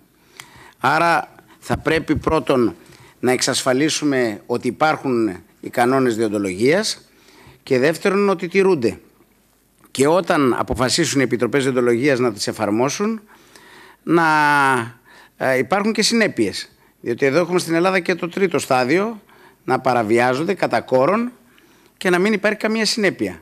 Δεν είναι μόνο στα θέματα το site, τα στοιχηματικά. Υπάρχουν σε πολλές άλλες ε, μορφές παρέμβασης όσον αφορά τα μέσα μαζικής ενημέρωσης στην Ελλάδα. Δεν υπάρχει κώδικας διοντολογίας κατά τη γνώμη μου. Ή πρέπει να αναβιώσει και να λειτουργήσει πιο σωστά. Επομένως, ε, η απάντησή μου είναι ότι θα πρέπει να ανατραπεί όλο το σύστημα, αρκεί να θέλουμε. Για μένα είναι να θέλουμε. Αν δεν θέλουμε δεν θα γίνει τίποτα. Σε ευχαριστώ πολύ. Άλλη ερώτηση; Ο κύριος. Καλησπέρα και από μένα. Ραφαήλ Αλαχάς λέγομαι. Είμαι φοιτητή του τμήματος ε, Μέσω Μαζικής Ενημέρωσης του Πανεπιστημίου Αθηνών. Θα ήθελα και εγώ να δώσω με τη σειρά μου συγχαρητήρια στο ε, τμήμα οργάνωσης και διαχείρισης αθλητισμού που πραγματοποίησε ξανά αυτή την, εφημε... Ε, την, την ημερίδα ε, γιατί είχε πραγματοποιήσει και μία περίοδο 2015 και συγγνώμη αν υπάρχει κάποιος από το ΕΚΠΑ τον οποίο μπορεί να στεναχωρήσω αλλά δίνει την εικόνα ενός κανονικού πανεπιστημίου. Η ερώτηση μου έχει σχέση με την εισήγηση του κυρίου Μαυρίδη. Όταν λέτε το 36% του ΦΠΑ υπάρχει ακόμα σε νομική υπόσταση, σημαίνει ότι μπορεί να επιβληθεί ανα πάσα στιγμή. Αυτό ήταν για δύο μήνες το 1990 και καταργήθηκε. Αλλά δεν έχει καταργηθεί σαν διάταξη. Υπάρχουν δηλαδή πέντε κατηγορίες ΦΠΑ και όλες οι ταμιακές μηχανές πρέπει να έχουν πέντε κατηγορίες ΦΠΑ, μία από τις οποίες είναι και το 36%. Άσχετα αν δεν υπάρχει κανένα είδος που δεν, που πουλέ, δεν υπάρχει είδος που να πουλέται στο 36%.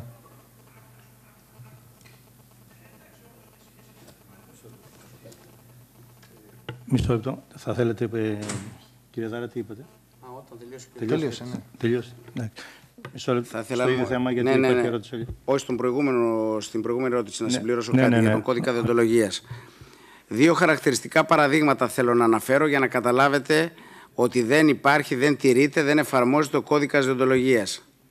Όταν ο ρεπόρτερ, παράδειγμα, της δόξας Μαγούλας είναι και γραφείο τύπου της δόξας Μαγούλας, δεν υπάρχει διοντολογία. Όταν επί σειρά ετών ρεπόρτερ του Υπουργείου Γεωργίας εργάζονταν και αμείβονταν από το Υπουργείο Γεωργίας με πρόσχημα ένα δίθεν τηλεοπτικό σταθμό που δεν λειτουργούσε ποτέ, το μεγαλύτερο σκάνδαλο που γίνει τα τελευταία χρόνια στα ελληνικά μέσα μαζικής ενημέρωσης και δεν υπήρξε καμία συνέπεια, τι, για τι κώδικα διοντολογίας μιλάμε; Όταν συντηρείται και από τους ιδιωτικούς φορείς και από τις δημοσιογραφικές ενώσεις αλλά και από το επίσημο το κράτος. Επομένως σε αυτή τη χώρα θα πρέπει να αλλάξουν όλα. Ευχαριστώ. Ε, ο λόγος στον κύριο I would like to, to clarify probably a misunderstanding. Uh, so betting companies have no interest uh, in giving wrong information, information through, through reports, through journalists, for example, to the market. Why? We as betting companies, we do not bet. How does betting companies work? So we are bookmakers, which means we try to get as the same risk on both sides of the book. So an odd is one divided to, through the probability of how the game will end. All we do is a mathematical process is we try all the stakes of the users multiplied with the odd for the winning of one game should be all the stakes for the winnings of another team multiplied with the odd should be the same. So we would like to have no disaccio. We would like to be always the winner, independently how the game ends. So we have no motivation to manipulate journalists that users should bet either on one game, on one team or another team, because it makes no difference for us. If more users bet on one team, we change the odd automatically that we get more money on the other side to again have no arbitrage. So we have no motivation to, to manipulate media or anyone else to bet on one side or the other side. Of course, like match fixing, there are people out there who would try to manipulate that odds, for example, for betting companies go down as they before bet on the other side. Yeah? But betting companies have no, no idea, and it would no make sense to pay money for journalists to write wrong things because we always win. Thank you. Απαντήσει κύριε Ζάρας. Ασφαλώς και οι, στοιχ... οι στοιχηματικές εταιρείες δεν θέλουν να καθοδηγήσουν και να χειραγωγήσουν το στοίχημα. Αλλά έχουν ευθύνη ως προς το με ποιον τρόπο χρησιμοποιούν τις πληροφορίες και από ποιους τις λαμβάνουν. Είναι γνωστό ότι και στοιχηματικές εταιρείες στην Ελλάδα, από τον ΟΠΑΠ μέχρι τις ιδιωτικές, χρησιμοποιούν δημοσιογράφους για τις πληροφορίες. Υπήρχαν και επιτροπές του ΟΠΑΠ, ε, επί σειρά ετών με δημοσιογράφους που έδιναν πληροφορίες και τους χρησιμοποιούσαν. Αυτό σε ένα βαθμό είναι θεμητό. Αν οι πληροφορίες αυτές είναι σωστές και γίνεται από επαγγελματίες και από γνώστες του αθλήματος. Όταν όμως χρησιμοποιούνται άνθρωποι που δεν είναι γνώστες του αθλήματος, εκεί υπάρχει κίνδυνος και για τους παίχτες αλλά και για τις στοιχηματικές εταιρείες. Αυτό πρέπει να προασπίσουμε και να διασφαλίσουμε ότι οι πληροφορίες βάσει των οποίων θα βγουν και οι αποδόσεις θα στηρίζονται σε πραγματικές πληροφορίες. Αυτό εννοώ. Όχι ότι γίνεται σκόπιμα, ότι θα πρέπει να διασφαλιστεί και από τις εταιρείες αυτό το πράγμα. Είτε είναι κρατικές όπως ε, ήταν ο ΠΑΠ ή τώρα είναι ιδιωτικά. Thank you. Ευχαριστούμε. Άλλη ερώτηση, παρακαλώ. Δεν υπάρχει. Ευχαριστούμε πολύ. Κλείνει αυτή η session. Η επόμενη, κύριος Αλεξόπουλος. Ναι, συνεχίζουμε στο επόμενο τραπέζι. Θα παρακαλούσα να είναι μαζί μας στο τραπέζι ο κύριος Αντώνης Τραυλός, πρόεδρος του Τμήματος Οργάνωσης και Αρχής Αθλητισμού. Ε, η κυρία Ζουράβλιοβα Ειρήνα, και κυρία Κατερίνα Χαρονιτάκη, διδακτόρισες από το Πανεπιστήμιο, με το Πάντιο Πανεπιστήμιο, σε θέματα που άπτονται της απεξάρτησης από τα τυχερά παιχνίδια, όπως επίσης και ο Αναστάσιος Βάσιος, προϊστάμενος τμήματος καζίνων, παιχνιδομηθανών και της Διεύθυνσης της Ρυθμιστικής Αρχής και Κοινωνικής Ευθύνης της ΕΕΠ. Θα ήθελα μέχρι να, να έρθουν στο βήμα οι αγαπητοί ομιλητές, τους οποίους ιδιαίτερα ευχαριστώ που ήρθαν σήμερα στη σημερινή επιστημονική μερίδα. Θα ήθελα να, να προετοιμάσω, γιατί μέχρι αυτή τη στιγμή ακούω, δεν έχω μιλήσει καθόλου, εκτός από ένα χαιρετισμό, να προετοιμάσω και θα προτιμούσα καλύτερα να δείξω ένα ρεπορτάζ, αν, θα είναι, αν είναι έτοιμο, το οποίο αναφέρεται, ευκταίο είναι να αναφέρεται στους απόλυτους και επιμέρους αριθμούς ατόμων εθισμένων στον τζόγο, ούτως ώστε να γίνεται κατανοητό πόσο εκτεταμένο είναι το πρόβλημα.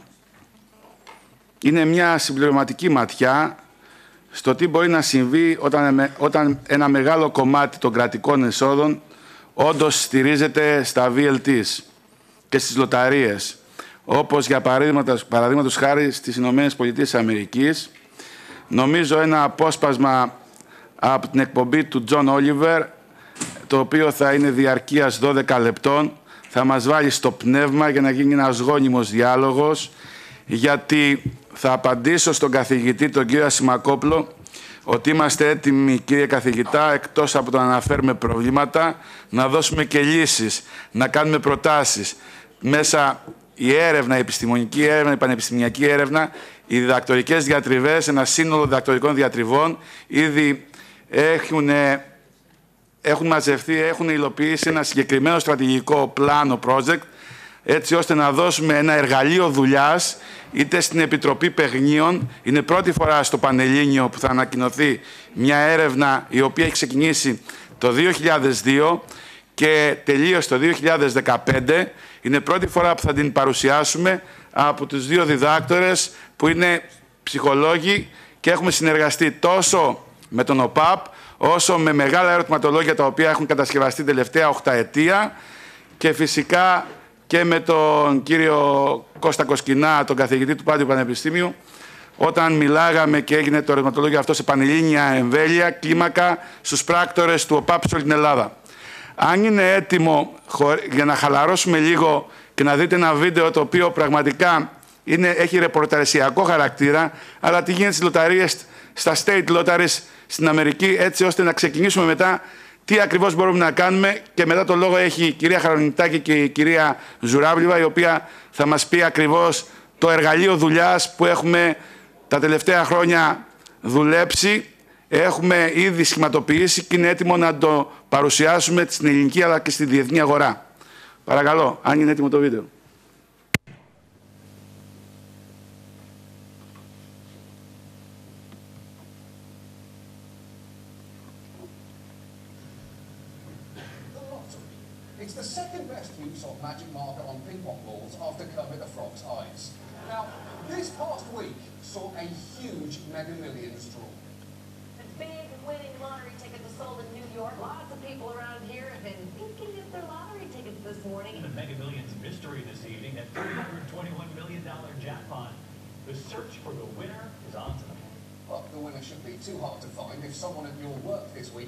In and told everyone to go f themselves before flipping their desk over and storming out. That's probably your winner right there.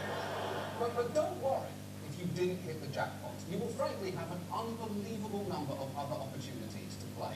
44 states currently have lotteries, and you can't miss the commercials featuring everything from uh, a ping pong ball thunderstorm to a furry dressed as a cat to a weird lucky man who, for some reason, uh, decided to spend his lottery winnings terrifying a penguin by taking it hang gliding. Uh, that is a bizarrely specific use of a big lottery win. Look, if my numbers come up, I'm strapping a penguin to my chest and I'm taking to the skies. F you, evolution, I decide who flies.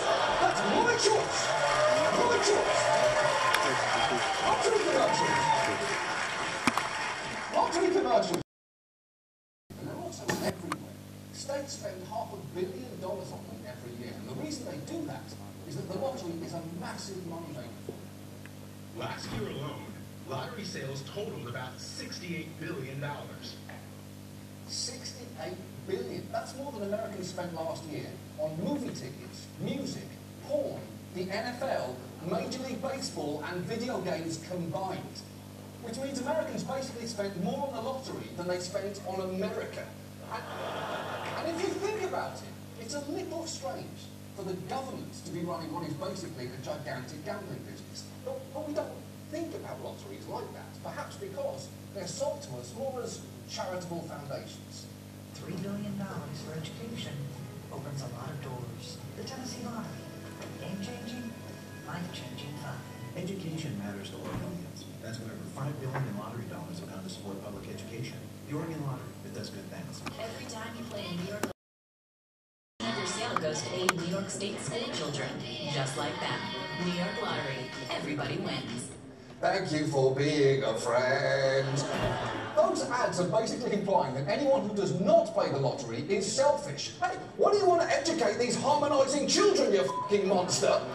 So, so let's take a look at those slogans. Everybody wins, the lottery does good things, and it's game-changing, life-changing fun. Is it, does it, and do they? Let, let's start with the basics. The lottery generates $68 billion in sales a year. So where does that money come from? Over the course of the last two decades, multiple studies have found lower income households spend a higher percentage of their money on lottery tickets. Yeah, that kind of makes sense. Lots of people like to gamble, and for lower income households, the lottery is an affordable way to do it. But generally, when wealthy people want to take risks with their money, they either choose to invest in the stock market or they leave their wife for Amber without signing a prenup. Because Amber's forever. Besides, she just gets you. She's a little tiring, but she'll be there. The, the lottery is in the business of selling people hope, and they do a great job of that. Start a college fund for our kids. Start a college fund for their kids. A game with jackpots worthy of your dreams. Mega Millions. Dream mega. That feels like an ad for a mutual fund. But crucially, the lottery is not an investment because it's worth mentioning that those mega dreams are mega unlikely to happen. What are the real chances of winning? A lousy 1 in 176 million. Winning with Mega Millions is akin to getting struck by lightning at the same time you're being eaten by a shark. Okay? That, that is both an evocative image and an amazing pitch for a movie. Okay, so there's this guy, he's getting eaten by a shark, see? Lightning hits him, he switches minds with the shark, the shark wins the lottery. It's Freaky Friday meets Jaws. I'm calling it Slum Shark Billionaire. Slum Shark Billionaire.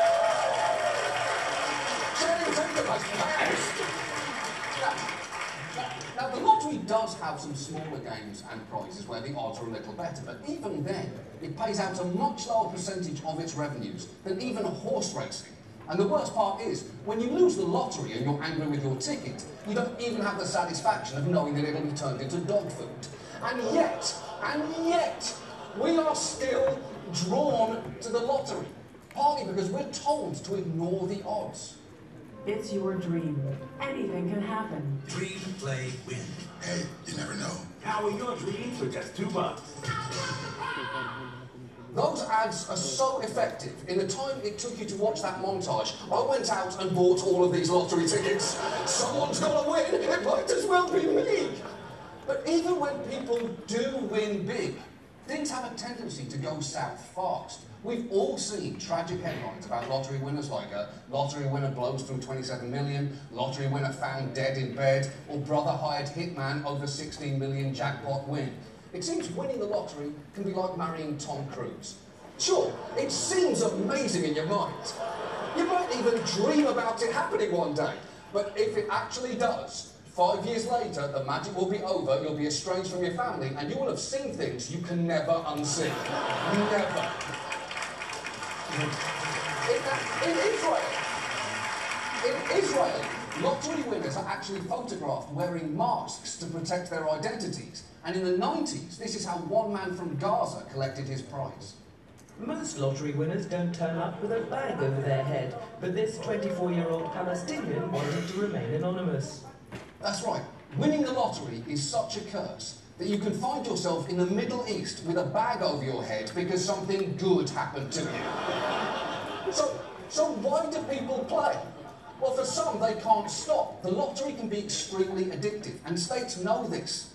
Many lotteries offer resources to help problem gamblers. The Illinois Lottery even has a section on their website for responsible gaming. Although when we clicked on the link, we got, and this is true, a pop-up ad for the lotto. Seriously, Illinois? There is a reason that the first step in a 12-step program isn't congratulations on starting the program. Why not reward yourself with a refreshing gin and tonic? Cheers.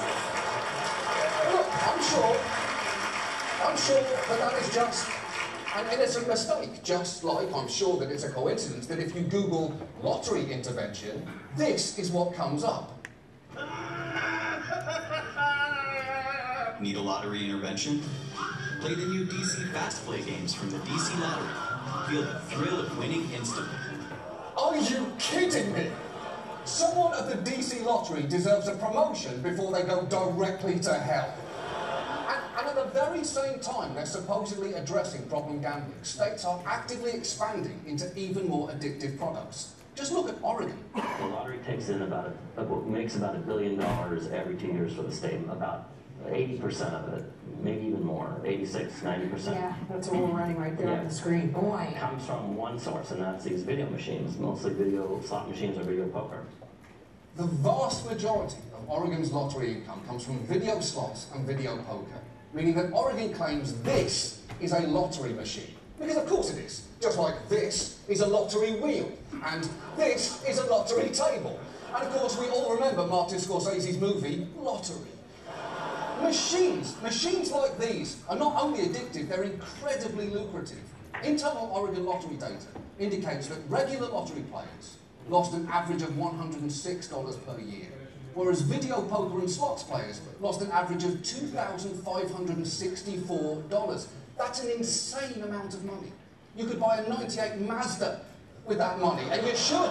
You should. It's got a moonroof and six-way speakers. You should get in it right now and drive in the opposite direction of any video poker machine.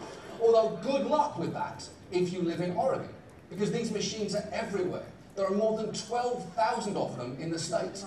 And that kind of ubiquity puts some people in serious danger. my boyfriend and I have got, gotten into into fights uh, over, you know, I'll go out, so, you know, I'm just going somewhere with with a friend of mine, and, and I end up playing video poker, and or I'm supposed to go to the store to buy food, and and I come home with no food and no money. You know, as soon as I walk in the door, he knows, and then we don't have any food. Remember, the machines that are causing her such trouble are run by the state. A state which proclaims its lottery does good things. At this point, I'm thinking it may not be a coincidence that the logo for the Oregon State Lottery is someone crossing their fingers, the universal sign for lying. Okay, so, so maybe, maybe the next question, maybe the next question should be this. Why do state lawmakers keep approving all this? Well, as those singing children told us, lotteries are really all about good causes like education, and that's always been the excuse. State lotteries were illegal in this country until 1964, when New Hampshire launched the first one, under the guise of a very familiar message.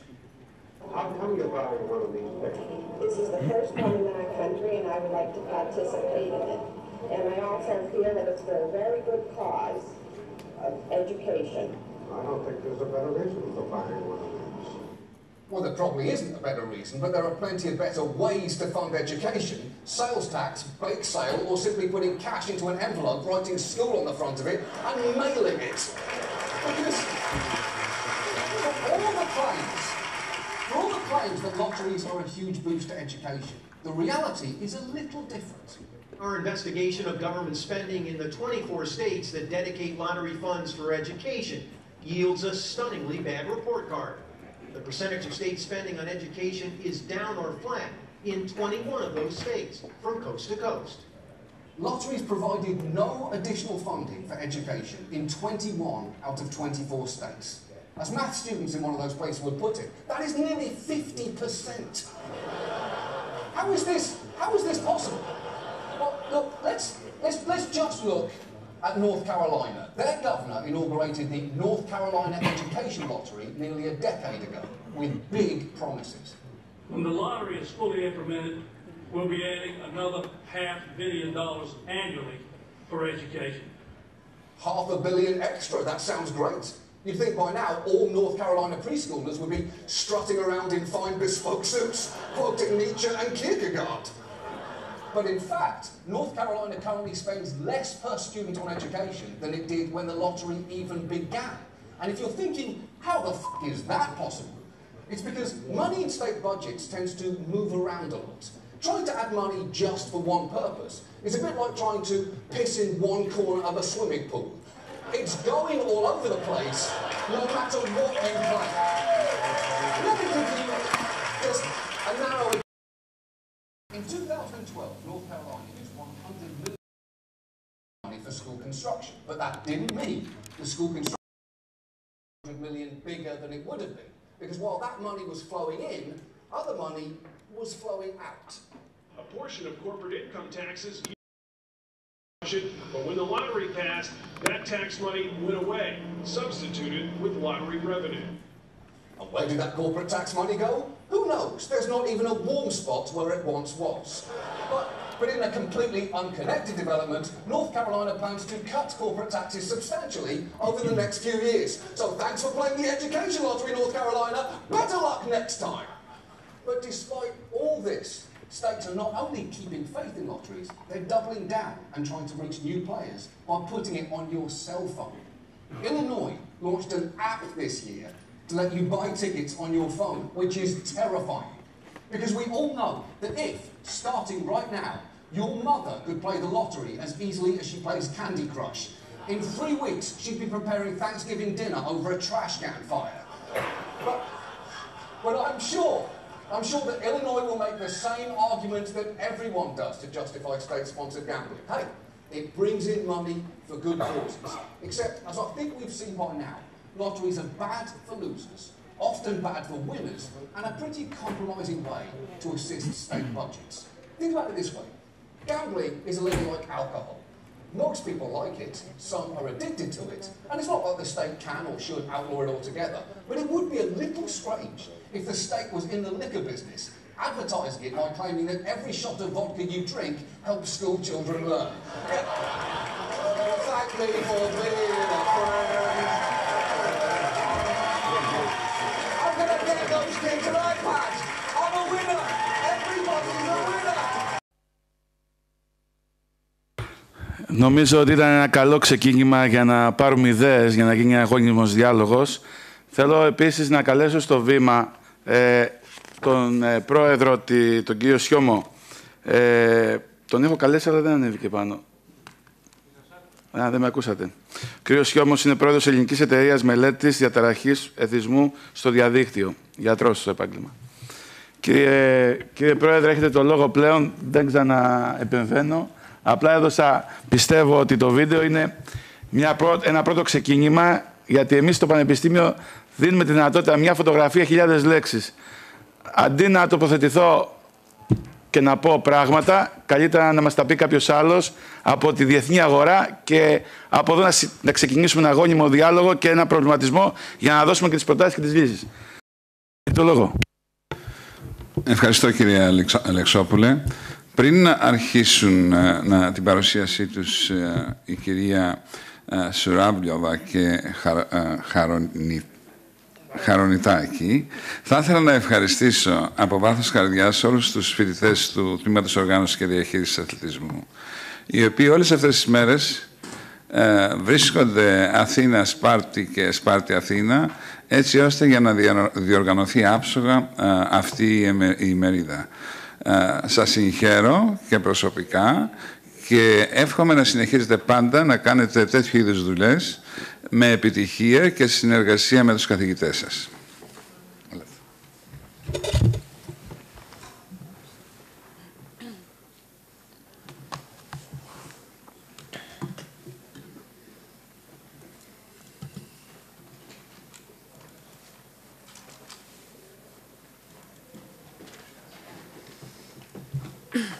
Λοιπόν, καλησπέρα σε όλους. Ευχαριστώ πολύ για την ευκαιρία αυτή και θα ήθελα να ξεκινήσω από τα κλασικά που όλοι ξέρουμε και είναι γνωστά ότι κάθε κρίση σε οποιαδήποτε χώρα και αυτό είναι αποδεδειγμένο στατιστικά προκαλεί τους ανθρώπους να παίζουν περισσότερο. Μπορεί να μην έχουν να φάνε, να πιούνε, αλλά κάπου θα βρούνε χρήματα για να πάνε να παίξουν. Δηλαδή, δεν μπορούμε να στηρίσουμε μια ελπίδα από τον πατέρα που για να αγοράσει το γάλα για το παιδί του να πάει να παίξει ένα-δύο ευρώ. Μπορεί να μειώνονται τα χρηματικά ποσά που παίζουν οι άνθρωποι, αλλά η συχνότητα δεν μειώνεται, μπορεί να αυξάνεται κιόλας. Και η ιδιότητα του φαινομένου προβληματικής και παθολογικής ανασχόλησης με τυχερά παιχνίδια συγκρίνεται με εξάρτηση και θεσμό στην κοκαίνη, η οποία ουσία αλλάζει βιολογία του σώματός μας. Και έτσι να φανταστείτε η σκέψη, το μυαλό μας, έχει τέτοια δυνατότητα και ιδιότητα να επηρεάζει όλη τη ζωή μας. Την βιολογία, δηλαδή ανεβαίνει η ένταση, μπορεί να υπάρχει συμπτώματα στέρησης και μετά είναι ψυχολογία, μετά είναι κοινωνικά φαινόμενα, προβλήματα στις σχέσεις, οικογένειας, στο περιβάλλον εργασιακό κτλ. Και επειδή υπάρχει αυτό το φαινόμενο που έρχεται ο άνθρωπος επαφή με χαρά ή θλίψη. Μπορεί να έχει ε, νεύρωση, μπορεί να έχει κάποια ψυχοπαθολογική ε, εκδήλωση. Και όλα αυτά κάθε φορά είναι μοναδικός συνδυασμός σε κάθε άνθρωπο.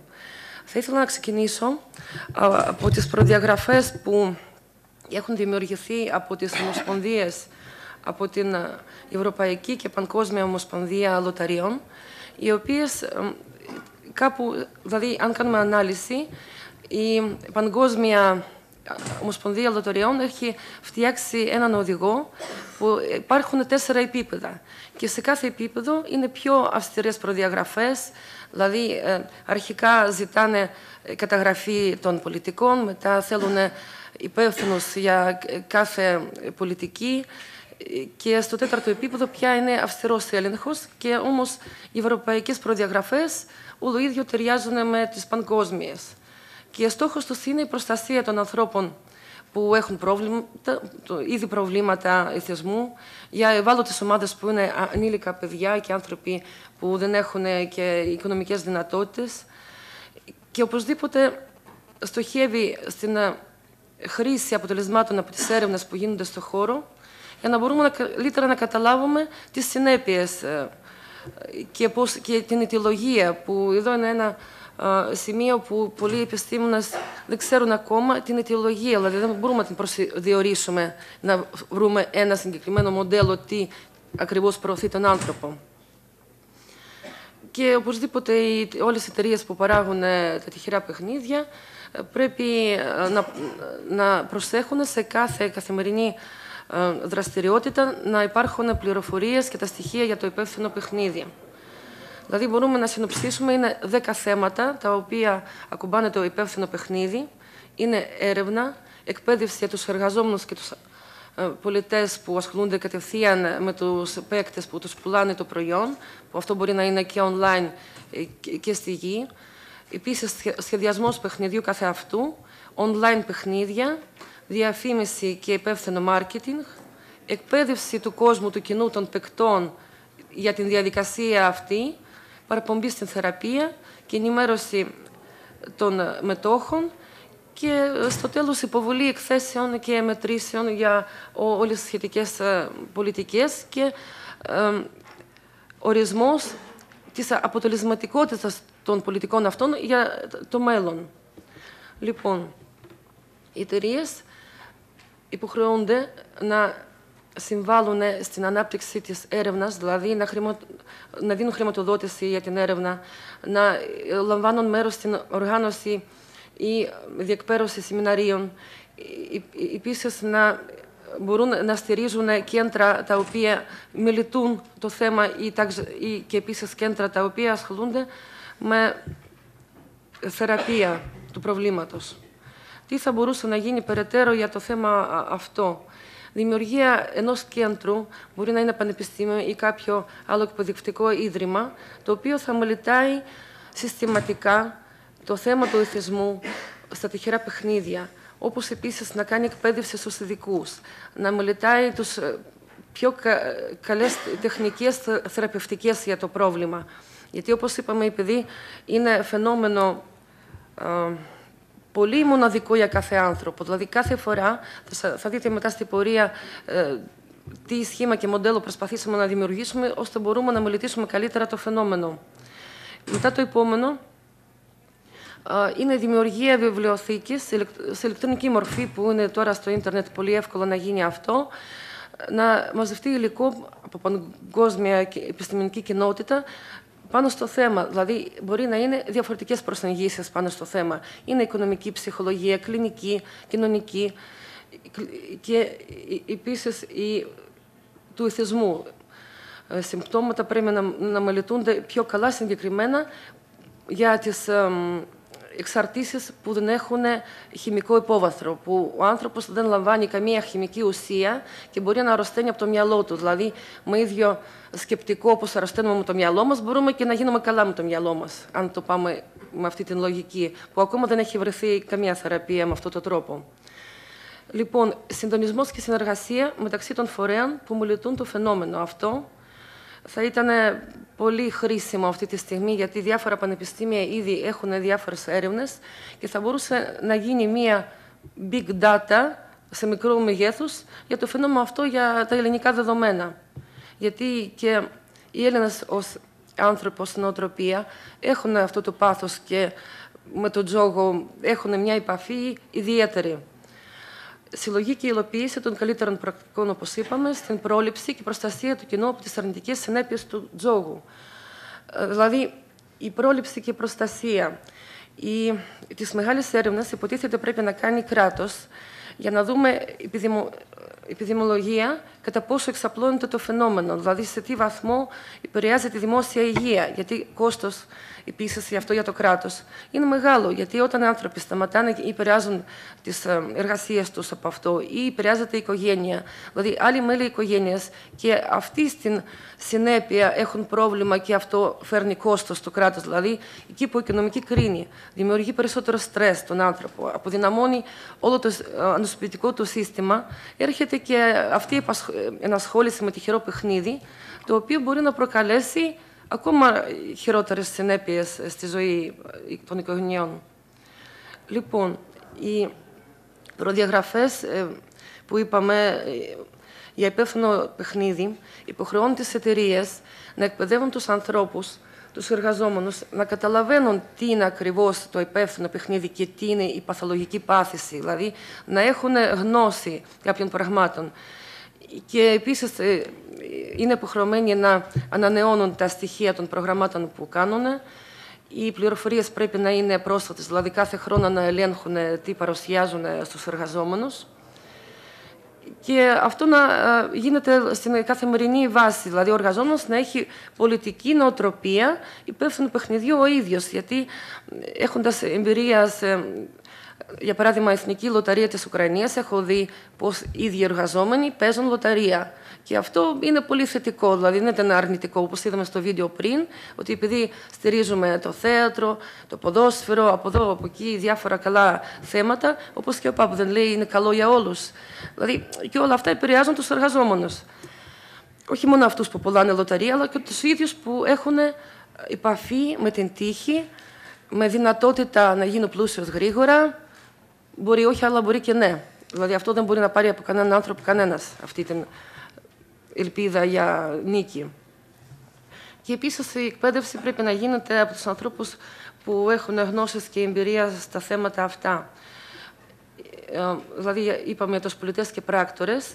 Εδώ είναι θέματα ελέγχου, για να μπορούν να ελέγχουν ε, τα ανήλικα παιδιά. Δηλαδή, ίδια να ενημερώνονται σε γραπτή μορφή για όλα τα θέματα, να είναι φυλάδια, διαφημιστικά φυλάδια και αφήσει κατάλληλες για αυτά τα θέματα, να έχουν γνώση των χαρακτηριστικών, όπως είπαμε, της προβληματικής ανασχόλησης.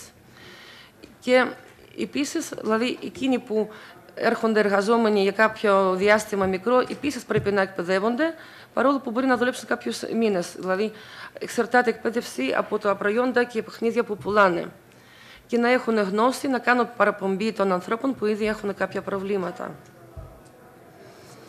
Λοιπόν, πριν βγει στην αγορά οποιοδήποτε προϊόν, οποιοδήποτε παιχνίδι, πρέπει να περάσει από την ανεξάρτητη αξιολόγηση, με συγχωρείτε γιατί παίζει το ποντίκι, για παράγοντες κινδύνου. Κάθε παιχνίδι μπορεί να περιέχει κάποια συστατικά που μπορεί να επιδεινώνουν ή να προωθούν στο περισσότερο στην περισσότερη ενασχόληση με το παιχνίδι. Και μελέτη αυτών των στρατηγικών, ε, δηλαδή ο στόχος της είναι η ελαχιστοποίηση με των αρνητικών επιπτώσεων. Για παράδειγμα, παράγοντες κινδύνου τι μπορεί να είναι; Είναι η κλήρωση, πόσο συχνά γίνεται, ή ε, γεγονότα στο ποδόσφαιρο, στον αθλητισμό και οι πιθανότητες του κέρδους. Δηλαδή, αν λέμε στον παίκτη ότι οι πιθανότητες είναι συχνές και μεγάλες, αυτό επηρεάζει τον παίκτη. Κατά πόσο και πού είναι τα μέρη που πουλάνε τα τυχερά παιχνίδια. Δηλαδή τώρα. Okay. Δηλαδή αυτά καταλαβαίνετε ότι είναι τώρα παντού όταν τα συζητάμε για online παιχνίδια. Λοιπόν, στα γρήγορα να πούμε για online, είπαμε είναι ανήλικοι παίκτε. Πρέπει να λαμβάνονται μέτρα για την πρόληψη δύσκολων καταστάσεων, δηλαδή όταν οι γονεί αφήνουν το πρόγραμμα ανοιχτό και το παιδί έχει πρόσβαση σε αυτό, δηλαδή πρέπει να χρησιμοποιούν κωδικού. Και μετά, website η εταιρεία πρέπει να δίνει συμβουλέ τι πρέπει να ε, κάνουν οι γονεί, να βάζουν συστήματα και λογισμικό γονικού ελέγχου. Μετά, διαφήμιση είναι γνωστό σε όλους τι πρέπει και τι δεν πρέπει να κάνει, να είναι υπεύθυνη, δηλαδή να μην δίνει παρα, παραπλανήσεις και πληροφορίες ψεύτικες, να προωθεί και σπρώχνει τον άνθρωπο προς παιχνίδι. Εκπαίδευση παικτών. Επίσης πρέπει να ξέρει ο παίκτης τι παιχνίδι, παιχνίδι παίζει και πώς το παίζει, δηλαδή να έχει λεπτομερείς πληροφορίες για να μπορεί να παίρνει συνειδητά και υπεύθυνα αποφάσεις μόνος του. Δηλαδή θεωρείται η ανάπτυξη προσωπικής ευθύνης στην ενασχόληση με τυχερό παιχνίδι είναι από τα σοβαρότερα θέματα που είναι προστασία για το παίκτη. Λοιπόν, συμβουλές για το παίχτη, να υπάρχει δυνατότητα αυτοαποκλεισμού αν κάποιος θεωρεί ότι έχει πρόβλημα και παραπομπή στη θεραπεία όταν πια υπάρχουν προβλήματα στην συμπεριφορά. Ενημερώνονται μέτοχοι για να γνωρίζουν για προγράμματα υπεύθυνου παιχνιδιού τι γίνονται στην εταιρεία τους και να λαμβάνουν τις αποφάσεις πάνω σε αυτά, δηλαδή να το λαμβάνουν υπόψη και να γίνεται ετήσια καταγραφή δεδομένων, να γίνονται εκθέσεις πάνω στην αποτελεσματικότητα και στους τρόπους αξιολόγησης των πολιτικών αυτών. Για να ολοκληρώσω, θα ήθελα απλά να κάνω μια εισαγωγή για την επόμενη ομιλία. Δημιουργήθηκε ένα ερωτηματολόγιο, το οποίο βασίστηκε σε μια μελέτη και ανασκόπηση διεθνής βιβλιογραφίας πάνω στα, ε, στα αιτήματα αιτήσεις που προκαλούν την ε, πάθηση αυτή είναι ένα μοντέλο που ε, βάλαμε τρεις άξονες, βιολογικοί, ψυχολογικοί και κοινωνικοί παράγοντες, οι οποίοι είναι σε όλο, δηλαδή το κατηγοριοποιήσαμε τα δεδομένα με αυτόν τον τρόπο. Δηλαδή, και ε, υπάρχουν δύο πλευρές. Είναι υπάρχοντες ρίσκου και παράγοντες προστασίας. Δηλαδή, πώς λειτουργεί το μοντέλο. Να φανταστείτε, με πράσινο είναι κοινωνικά δεδομένα, με μπλε είναι ψυχολογικά, με κόκκινο είναι βιολογικά. Και κάθε άνθρωπος, για παράδειγμα, δημιουργείται μία μάτριξ, δηλαδή καταγραφή δεδομένων. Π.χ. υπάρχουν κοινωνικέ ρίζες θεσμού. Δηλαδή, θα μπορούσε να γίνει η εξέταση αίματος, για παράδειγμα, πριν και μετά το παιχνίδι. Γιατί όλα αυτά έχουμε πάρει από τα αποτελέσματα και ευρήματα διάφορων ερευνών. Και αυτά, αν υπάρχουν αυτά τα κριτήρια και παράγοντες, δηλαδή άτομα έχει μεγαλύτερο ρίσκο, γιατί είναι και μετριέται μέσα σε μια κλίμακα μετά η προστασία είναι αντίθετη οι ίδιοι παράγοντες, αλλά με άλλη ποιοτική έννοια. Για παράδειγμα, συναισθήματα. Αν κάποιος έχει ψυχολογικό πρόβλημα, έχει αβεβαιότητα, χωρισμό ή έχει κατάθλιψη, είναι θυμωμένος, αυτό όλο προωθεί προς παιχνίδι. Είναι παράγοντες κινδύνου. Η έλλειψη αυτών συμπτωμάτων και εκδηλώσεων μα λέει ότι είναι παράγοντε για προστασία. Και να φανταστείτε κάθε επίπεδο, κάθε στρώμα σε αυτή την σφαίρα έχει π.χ. γνωστικά ε, στοιχεία, αναζήτηση διαφοροποιημένη κατάσταση συνείδηση ή συνεχόμενε σκέψει για το παιχνίδι. Αυτό όλο, αν άνθρωπο απαντάει στο ερωτηματολόγιο και λέει ότι ναι, έχω πρόβλημα, μα δείχνει πού ακριβώς σε ποιο σημείο μπορούμε να τον στηρίξουμε μετά στην θεραπευτική διαδικασία. Δηλαδή, η Κατερίνα Χαρονιτάκη θα σας παρουσιάσει λεπτομερώς το ερωτηματολόγιο πώς έγινε μεθοδολογικά. Σας δείχνω τι ήταν μέσα στα στοιχεία προσωπικότητας, είναι ψυχολογικός παράγοντας. Υπάρχει πάλι παράγοντας ψυχοπαθολογίας. Υπάρχει η ψυχοπαθολογίας, όπως είχαμε ακούσει και από το ΚΕΘΕΑ, ότι παίζει ρόλο στην εμφάνιση ψυχοπαθολογικής ανασχόλησης. Και οι κοινωνικοί παράγοντες, μελετάμε σχέσεις μέσα στην οικογένεια, στο άμεσο κοινωνικό περιβάλλον, με φίλους, συγγενείς του ατόμου, τι σχέση έχουν με τον τζόγο, πώς είναι οι ίδιοι κτλ και κοινωνικό πλαίσιο και τελειώνουμε με το πολιτισμό που είπαμε για ethics rules και γενικότερα έχει αποδεχτεί ότι οι στάσεις των ανθρώπων δεν αλλάζουν εύκολα και γρήγορα. Δηλαδή, αντίθετα, οι στάσεις αλλάζουν πιο γρήγορα από το πιστεύω των ανθρώπων. Και να μην παίξει κάποιος έτσι, να έχει πολύ αρνητική στάση, μπορεί να μην τον επηρεάζει, αλλά πρέπει να έχει αρνητικό πιστεύω. Ευχαριστώ πολύ, νομίζω. Καλησπέρα σας και από μένα. Εγώ θα σας μιλήσω λοιπόν για τη δημιουργία ενός ψυχομετρικού εργαλείου που ε, έχει να κάνει με την αξιολόγηση της προβληματικής ενασχόλησης με τα τυχερά παιχνίδια. Ε, το ερωτηματολόγιο πραγματοποιήθηκε σε τρεις φάσεις. Η πρώτη φάση αποτελούνταν από τη συνέντευξη, η δεύτερη φάση από ένα πιλωτικό ερωτηματολόγιο και η τρίτη φάση από το κανονικό ερωτηματολόγιο, το οποίο είχε στατιστικά σημαντικές ερωτήσεις 115, 32 από τον ψυχολογικό άξονα, 19 από το βιολογικό άξονα και 24 από τον κοινωνικό άξονα, ενώ 40 αφορούσαν τα είδη των παιχνιδιών και ερωτήσεις σχετικά με το δανεισμό ε, και τα προσωπικά δημογραφικά στοιχεία του παίκτη. Όσον αφορά τώρα την εγκυρότητα και την αξιοπιστία, έγιναν όλοι οι μέθοδοι ε, που- για να ελέγξουμε την εγκυρότητα και ήταν αρκετά καλοί, όπως επίσης και η αξιοπιστία ελέγχθηκε με το δίχτυ Α Κρόνμπαχ, εσωτερικής συνέπειας, και βρέθηκε πάρα πολύ καλή για όλες τις ε, μεταβλητές, αλλά και για τα στοιχεία των τριών παραγόντων.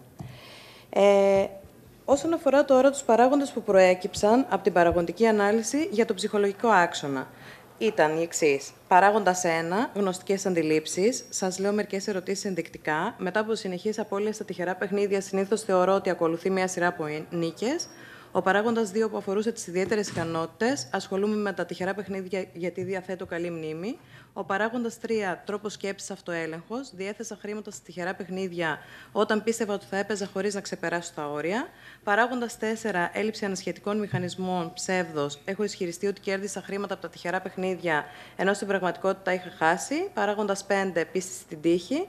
Πιστεύω ότι θα κερδίσω όταν έχω μαζί μου το τυχερό μου αντικείμενο. Και παράγοντας 6, συμπεριφορά και συναισθηματική κατάσταση. Ασχολούμαι με τα τυχερά παιχνίδια για να ξεφύγω από δυσάρεστες καταστάσεις. Και βλέπουμε εδώ πέρα ότι οι παίχτε με προβλήματα συμφωνούν με αυτούς τους παράγοντες σε πολύ υψηλότερο ποσοστό από τους παίκτες χωρίς προβλήματα. Αν τα δούμε λίγο πιο αναλυτικά όλα αυτά, όσον αφορά τον παράγοντα 1, οι γνωστικές αντιλήψεις παίζουν σημαίνοντα ρόλο στην ανάπτυξη και τη διατήρηση των προβλημάτων που σχετίζονται με την παικτική διαδικασία. Πολύ συχνά εμφανίζονται ασφαλμένε πεπιθήσεις, ψευδέστηση ελέγχου, προκαταλήψεις, αποτυχία του ατόμου να κατανοήσει την ανεξαρτησία των τυχαίων γεγονότων. Οπότε οι παθολογικοί παίκτες παίζουν αυξανόμενα χρήματα. Ε, μεταφράζουν επίσης οι παθολογικοί παίκτες ανεξάρτητα μεταξύ τους αποτελέσματα ως εξαρτημένα, περιμένοντας μη λογικά ότι θα κερδίσουν μετά τις απώλειες. Όσον αφορά τις ιδιαίτερες ικανότητες, έχουν ε, πολλές γνωστικές προκαταλήψεις οι παίκτες σχετικά με τα παιχνίδια που εμπεριέχουν το στοιχείο της ικανότητας, χαρτιά, στοιχήματα. Οπότε παίζουν περισσότερο σε αυτά τα παιχνίδια και πιστεύουν ότι κάποια στιγμή ε, θα κερδίσουν και θα έχουν ένα πολύ θετικό αποτέλεσμα. Ο τρόπος σκέψης και ο αυτοέλεγχος. Ε, Συνήθως έχει βρεθεί από έρευνες ότι άτομα που βιώνουν μεγάλα κέρδη νωρίς στην ενασχόλησή τους με τα τυχερά παιχνίδια, συνήθως αναπτύσσουν προβληματική ανασχόληση με τα τυχερά παιχνίδια στην πορεία. Επίσης, άτομα που έχουν βιώσει πολλές μικρές νίκες κατά την έναρξη της παικτικής διαδικασίας, αναπτύσσουν προκαταλήψεις σχετικά με τον έλεγχό τους πάνω στα τυχερά παιχνίδια και αυτό τους οδηγεί στο κυνήγι των κερδών. Όσον αφορά την έλλειψη ανασχετικών μηχανισμών, βλέπουμε ε, υψηλά επίπεδα ψεύδου στα άτομα αυτά. Ε, η παρορμητικότητα οδηγεί αυτούς τους παίκτες να εστιάζονται μόνο στα θετικά, αλλά όχι στα αρνητικά αποτελέσματα της ενασχόλησης με τα τυχερά παιχνίδια. Και ενώ οι παίκτες προσπαθούν να μειώσουν τα επίπεδα της παρορμητικότητάς τους, δεν ελέγχουν την επιθυμία τους για ευχαρίστηση και ποικιλομορφία. Ε, Επομένως, εμφανίζουν πάρα πολύ υψηλές ε, βαθμολογίες στις δοκιμασίες της παρορμητικότητας πιστεύουν πάρα πολύ στην τύχη σε σχέση με τους μη κοινωνικούς παίκτες. Ε, όσον αφορά τώρα τη συναισθηματική κατάσταση, έχει βρεθεί ότι οι συναισθηματικές διαταραχές είτε από τη μία μπορεί να οδηγήσουν στην ενασχόληση με τα τυχερά παιχνίδια, αλλά όμως μπορεί να μειώσουν και τα συμπτώματα λόγω της ενασχόλησης με τα τυχερά παιχνίδια. Παρ' όλα αυτά, ε, έχει βρεθεί ψηλή συχνότητα ε, συναισθηματικών διαταραχών, άγχους και κατάθλιψης στους παθολογικούς παίκτες.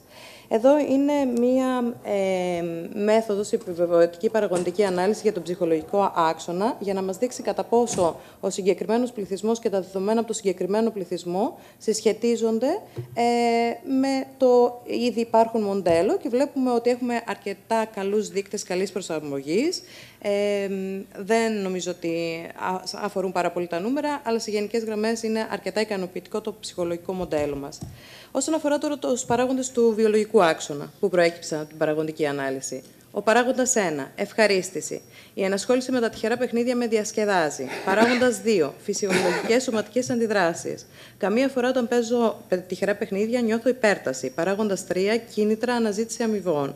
Η ενασχόλησή μου με τα τυχερά παιχνίδια είναι ένα χόμπι για εμένα. Ε, παράγοντας 4, άγχος τιμό. Διαθέτω χρήματα στα τυχερά παιχνίδια όταν επιζητώ κάποια δράση. Και ο παράγοντας 5, ένστικτα, βιολογικές ανάγκες. Όταν παίζω τυχερά παιχνίδια, συχνά ξεχνάω να φάω. Ε, οι παίκτες με προβλήματα πάλι υποστηρίζουν ε, πάρα πολύ τους συγκεκριμένους παράγοντες. Πάμε στον καθένα από αυτούς. Ευχαρίστηση και ενδογενή οπιοειδή. Έχει βρεθεί ότι κάποιες διαφοροποιήσεις στα οειδεργικά συστήματα μπορεί να οδηγήσουν σε μεγαλύτερη δυσκολία ελέγχου των εθιστικών συμπεριφορών εξαιτίας της έντονης εφορίας που δημιουργείται μετά από επιβραβευτικές συμπεριφορές. Όσον αφορά τις φυσιολογικές σωματικές αντιδράσεις, ο παθολογικός παίκτης ε, βιώνει μία ανάγκη αυξανόμενη να παίξει και αυτό έχει ως αποτέλεσμα όμως πολύ χρόνιο στρες και πάρα πολλά σωματικά ε, συμπτώματα, υπερένταση, καρδιαγγειακά, διαταραχές στο πεπτικό σύστημα και ο επιδείνωση όλων των ιατρικών προβλημάτων που ήδη υπάρχουν. Ε, τα κίνητρα, η αναζήτηση αμοιβών και η ντοπαμίνη πριν την ανάπτυξη των εξαρτησιογόνων συμπεριφορών, υπάρχει σε αυτούς τους παίκτες μία προπάρχουσα μειωμένη ευαισθησία στο σύστημα αμοιβής που σχετίζεται με την ντοπαμίνη. Συνεπώς, μια προβλέψιμη επιβράβευση δεν διαγείρει τη φασική ντοπαμίνη, ενώ η ξαφνική εμφάνιση ενός ουδέτερου ερεθίσματος ή οι απρόβλεπτες επιβραβεύσεις διαγείρουν τη φασική ντοπαμίνη. Οι παθολογικοί παίκτες εκδηλώνουν αμβλημένες αντιδράσεις στις αμοιβές και στις απώλειες, δηλαδή δεν αναγνωρίζουν τις αμοιβές τόσο έντονα όσο οι κοινωνικοί παίκτες, ούτε τις απώλειες, και αυτό έχει να κάνει με τη μειωμένη ενεργοποίηση του μεσολυμβικού προμετωπίου φλοιού. Όσον αφορά τώρα το άγχος και το θυμό και την κορτιζόλη, οι παθολογικοί παίκτες έχουν υψηλά επίπεδα ε, στις ορμόνες του στρες, δηλαδή κορτιζόλη και ενεργοποίηση του άξονα του υποθαλαμού υποφυσιολογικού, σε, σύγκριση με, ε, σε σύγκριση με τους μη παθολογικούς παίκτες, πριν από την ενασχόληση με τα τυχερά παιχνίδια, έχουν ισχυρά συναισθήματα θυμού και ενοχών, ε, Παρ' όλα αυτά, ε, το άγχος μπορεί να είναι είτε ένας παράγοντας πρόκλησης, διαταραχής ή αποτέλεσμα αυτής ε, υψηλά επίπεδα καρδιακών παλμών. Και όσον αφορά τα ένστικτα και τις βιολογικές ανάγκες, ένα πολύ ενδιαφέρον έβριμα είναι ότι το οξύ μπορεί να μειώσει την όρεξη. Οπότε ο υποθάλαμος εκρίνει την κορτικοτροπίνη, οπότε καταστέλει την όρεξη. Τα επινεφρίδια διοχετεύουν στο σώμα αδρεναλίνη, ενεργοποιείται το σύστημα αδράση, ε, πάληση φυγής, οπότε μειώνει τη όρεξη. Συνεπώς, όσοι παίζουν ε, τυχερά παιχνίδια και βιώνουν οξύ στρε, συνήθως μειώνουν και την πρόσληψη τροφής η επιβεβαιωτική παραγωγική ανάλυση για το βιολογικό άξονα. Επίσης, βλέπουμε πολύ καλούς δείκτες ε, προσαρμογής. Οι παράγοντες τώρα του κοινωνικού άξονα, του τελευταίου άξονα. Ε, ο παράγοντας 1, στάση κοινωνικής ομάδας οικογένειας. Κάποια άτομα έχουν κριτικάρει αρνητικά την παικτική μου συμπεριφορά, ανεξάρτητα αν εγώ πίστευα ότι αυτό είναι αλήθεια. Ο παράγοντας 2, κοινωνική πολιτική. Μια κοινωνική υπηρεσία για παίκτες πρέπει να τηρεί την εχεμήθεια και να διατηρεί την ανωνυμία του παίκτη. Όπως βλέπετε εδώ πέρα, ο παίκτης με πρόβλημα δεν υποστηρίζει πάρα πολύ αυτόν τον παράγοντα, ίσως γιατί αυτοί οι παίκτες είναι εξαρτημένοι και δεν ε, αναζητούν τη θεραπεία. Ο παράγοντας 3 που αφορά τις συντροφικές οικογενειακές σχέσεις, ο σύντροφός μου δεν δείχνει να με εμπιστεύεται εξαιτίας της παικτικής μου συμπεριφοράς. Ο παράγοντας 4, κοινωνική πίεση. Συνηθίζω να παίζω τυχερά παιχνίδια όταν κάποιος με ενθαρρύνει να ποντάρω. Ε, και παράγοντας 5, αδυναμία χειρισμού των στρεσογόνων καταστάσεων. Παίζω τυχερά παιχνίδια όταν ανησυχώ για τα χρέη μου. Αναλυτικά, οι παράγοντες αυτοί, η στάση της κοινωνικής ομάδας, οι παθολογικοί παίκτες έρχονται αντιμέτωποι με πάρα πολύ υψηλά ποσοστά διαζυγίων. Οι υποχρεώσεις και οι δραστηριότητε τους παραμελούνται, όπως επίσης έχουμε εργασιακά προβλήματα και φυσικά προβλήματα σε όλους τους βασικούς τομείς λειτουργικότητας. Όσον αφορά την κοινωνική πολιτική, έχει προαναφερθεί ούτως ή άλλως αυτό. Οι δυτικές κοινωνίες έχουν μια ε, μεγάλη πρόσβαση στα τυχερά παιχνίδια.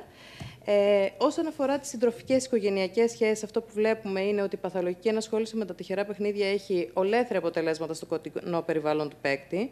Ε, και οι παίκτες ε, σε θεραπεία συχνά αναφέρουν οικογενειακά και συντροφικά προβλήματα. Μάλιστα, αυτά ίσως τους προκαλούν στο να αναζητήσουν και θεραπεία.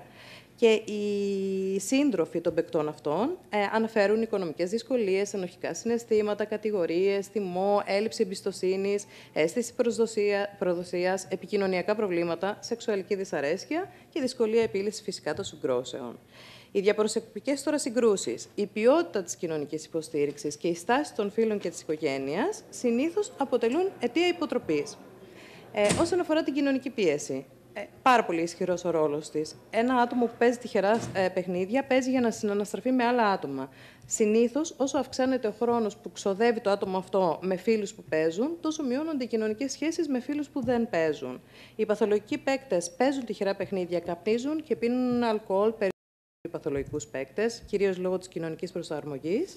Ε, βλέπουμε ότι οι κοινωνικές νόρμες και οι αντιλήψεις των σημαντικών άλλων, δηλαδή της οικογένειας, των φίλων, ε, των γνωστών, μπορούν να επηρεάσουν τις επιλογές των ατόμων να εμπλακούν σε ενασχόληση με τα τυχερά παιχνίδια. Ε, και συνήθως ο παθολογικός παίκτης επιλέγει τα παιχνίδια που προτιμούνται από τους φίλους και τα μέλη της οικογένειάς τους. Και ο τελευταίος παράγοντας, αδυναμία χειρισμού στρεσογόνων καταστάσεων, επίσης αναφέρθηκε. Οι παθολογικοί παίκτε είναι πιθανότερο να δανειστούν χρήματα από οτοκοκλήφου και εμπλέκονται σε πάρα πολλές παράνομες κριτικές, ένα πάρα πολύ μεγάλο ποσοστό οι κοινωνικοί ενισχυτές τώρα που παρέχονται από τα καζίνο, δηλαδή ε, οι ομάδες ε, των μελών, η συναισθηματική και ηθική υποστήριξη, η αυτοεκτίμηση, το κοινωνικό στάτους και τα προβλήματα της ε, καθημερινότητας οδηγούν στη συνέχιση της ε, ενασχόλησης με τα τυχερά παιχνίδια παρά τις απώλειες. Οι προβληματικοί παίκτες βιώνουν μια ε, διαδικασία διπλής ενίσχυσης, όπου οι κοινωνικές αμοιβές λειτουργούν ως θετικοί ενισχυτές, ενώ τα προβλήματα του παίκτη με την κοινωνία ως αρνητικοί ενισχυτές. Και φυσικά τα προβλήματα με την ενασχόληση με τα τυχερά παιχνίδια σχετίζονται με φτωχές στρατηγικές αντιμετώπισης.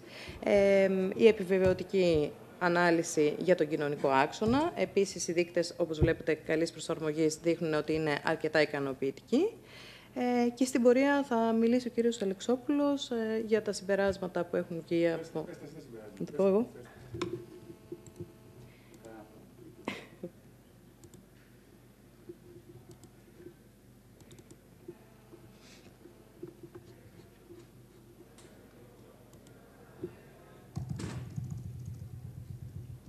Λοιπόν, τα τελικά μας συμπεράσματα. Η απουσία μεθόδων που αξιολογούν την παθολογική ενασχόληση με τα τυχερά παιχνίδια μας οδήγησε στην ανάγκη δημιουργίας αυτής της κλίμακας, που θα μπορούσε να εκτιμήσει όλους τους παίκτες που βρίσκονται σε κίνδυνο. Είτε είναι προβληματικοί, είτε είναι παθολογικοί. Να σας πω βασικά ότι το συγκεκριμένο ερωτηματολόγιο ε, στηρίχτηκε στα διαγνωστικά κριτήρια του DSM-5 ε, διαγνωστικού εγχειριδίου ε, και με τροποποιήθηκαν κάπως αυτά τα διαγνωστικά κριτήρια, έτσι ώστε να μπορέσουμε να τα εντάξουμε στην έρευνά μας.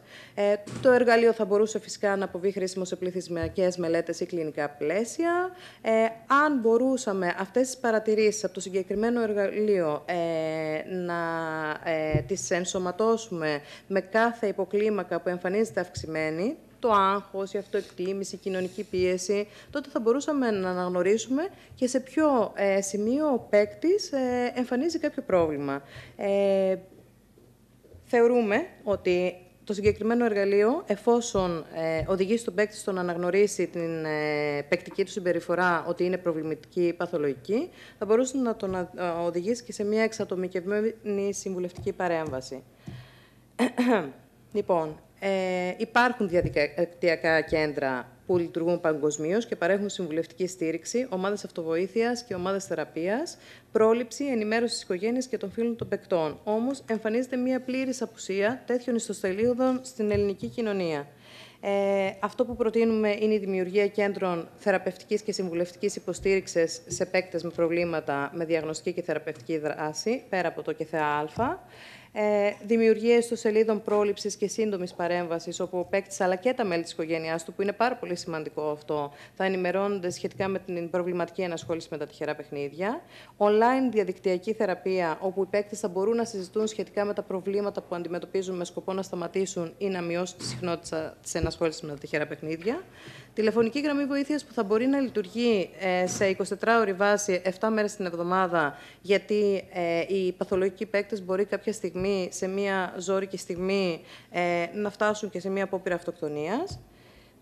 Δημιουργία προγραμμάτων πληροφόρησης μέσω των καμπανιών κοινωνικού μάρκετινγκ, μέσα από τα μέσα μαζικής ενημέρωσης και τη διαφήμιση. Και βασικό, η δημιουργία ενός οδηγού πρακτικού, ε, πρακτικών συμβουλών, συγγνώμη, η οποία θα διανέμεται στους παίκτες και στις οικογένειές τους δωρεάν.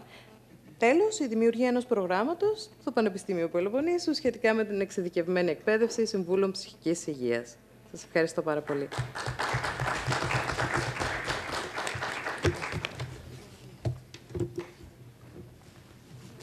Θα ήθελα να συμπληρώσω ότι θα ήταν πολύ σπουδαίο αν υπήρχε ανάπτυξη ενός προγράμματος για τα παιδιά, γενικότερα για διαχείριση συναισθημάτων για να υπάρχει προληπτική δράση για όλες τις εξαρτήσεις και για τον τζόγο επίσης. Δηλαδή αυτό δεν υπάρχει πουθενά στον κόσμο και θα μπορούσαν οι επιστήμονες να ξεκινήσουν αυτήν τη διαδικασία. Γιατί όπως βλέπετε, άμα έρχονται δύσκολοι καιροί, όλοι οι άνθρωποι παρουσιάζουν και περισσότερα ψυχολογικά και ψυχικά προβλήματα. Και αν είχαμε εφόδια μεγαλύτερα, τεχνικές και μεθόδους να είχαμε εκπαιδευτεί νωρίτερα, μπορεί και να είχαμε υποφέρει λιγότερα. Το λέω, καταλαβαίνετε, με ανθρωπιστικό τρόπο. Ευχαριστώ. Ευχαριστούμε. Και εγώ με τη σειρά μου θα συνεχίσω σε ένα κομμάτι το οποίο αφορά τα κίνητρα και την αντίληψη ρίσκου σε όσον αφορά την ενασχόληση με τα τυχερά παιχνίδια. Ε, έχετε διαπιστώσει από τους προηγούμενους ομιλητές ότι όλοι φτάνουμε σε ένα σημείο να μιλάμε για τον ηθισμό, να στοχεύαμε κυρίως στον, στο άτομο που είναι παθιασμένο, που έχει πάθος, που έχει δηλαδή εγκλωβιστεί στην όλη διαδικασία. Ωστόσο, δεν λέμε πολλά πράγματα για τα κίνητρα τα οποία οδηγούν ή πώς εξελίσσονται τα διάφορα κίνητρα και οδηγούν το άτομο να εθιστεί στις διάφορες διαδικασίες.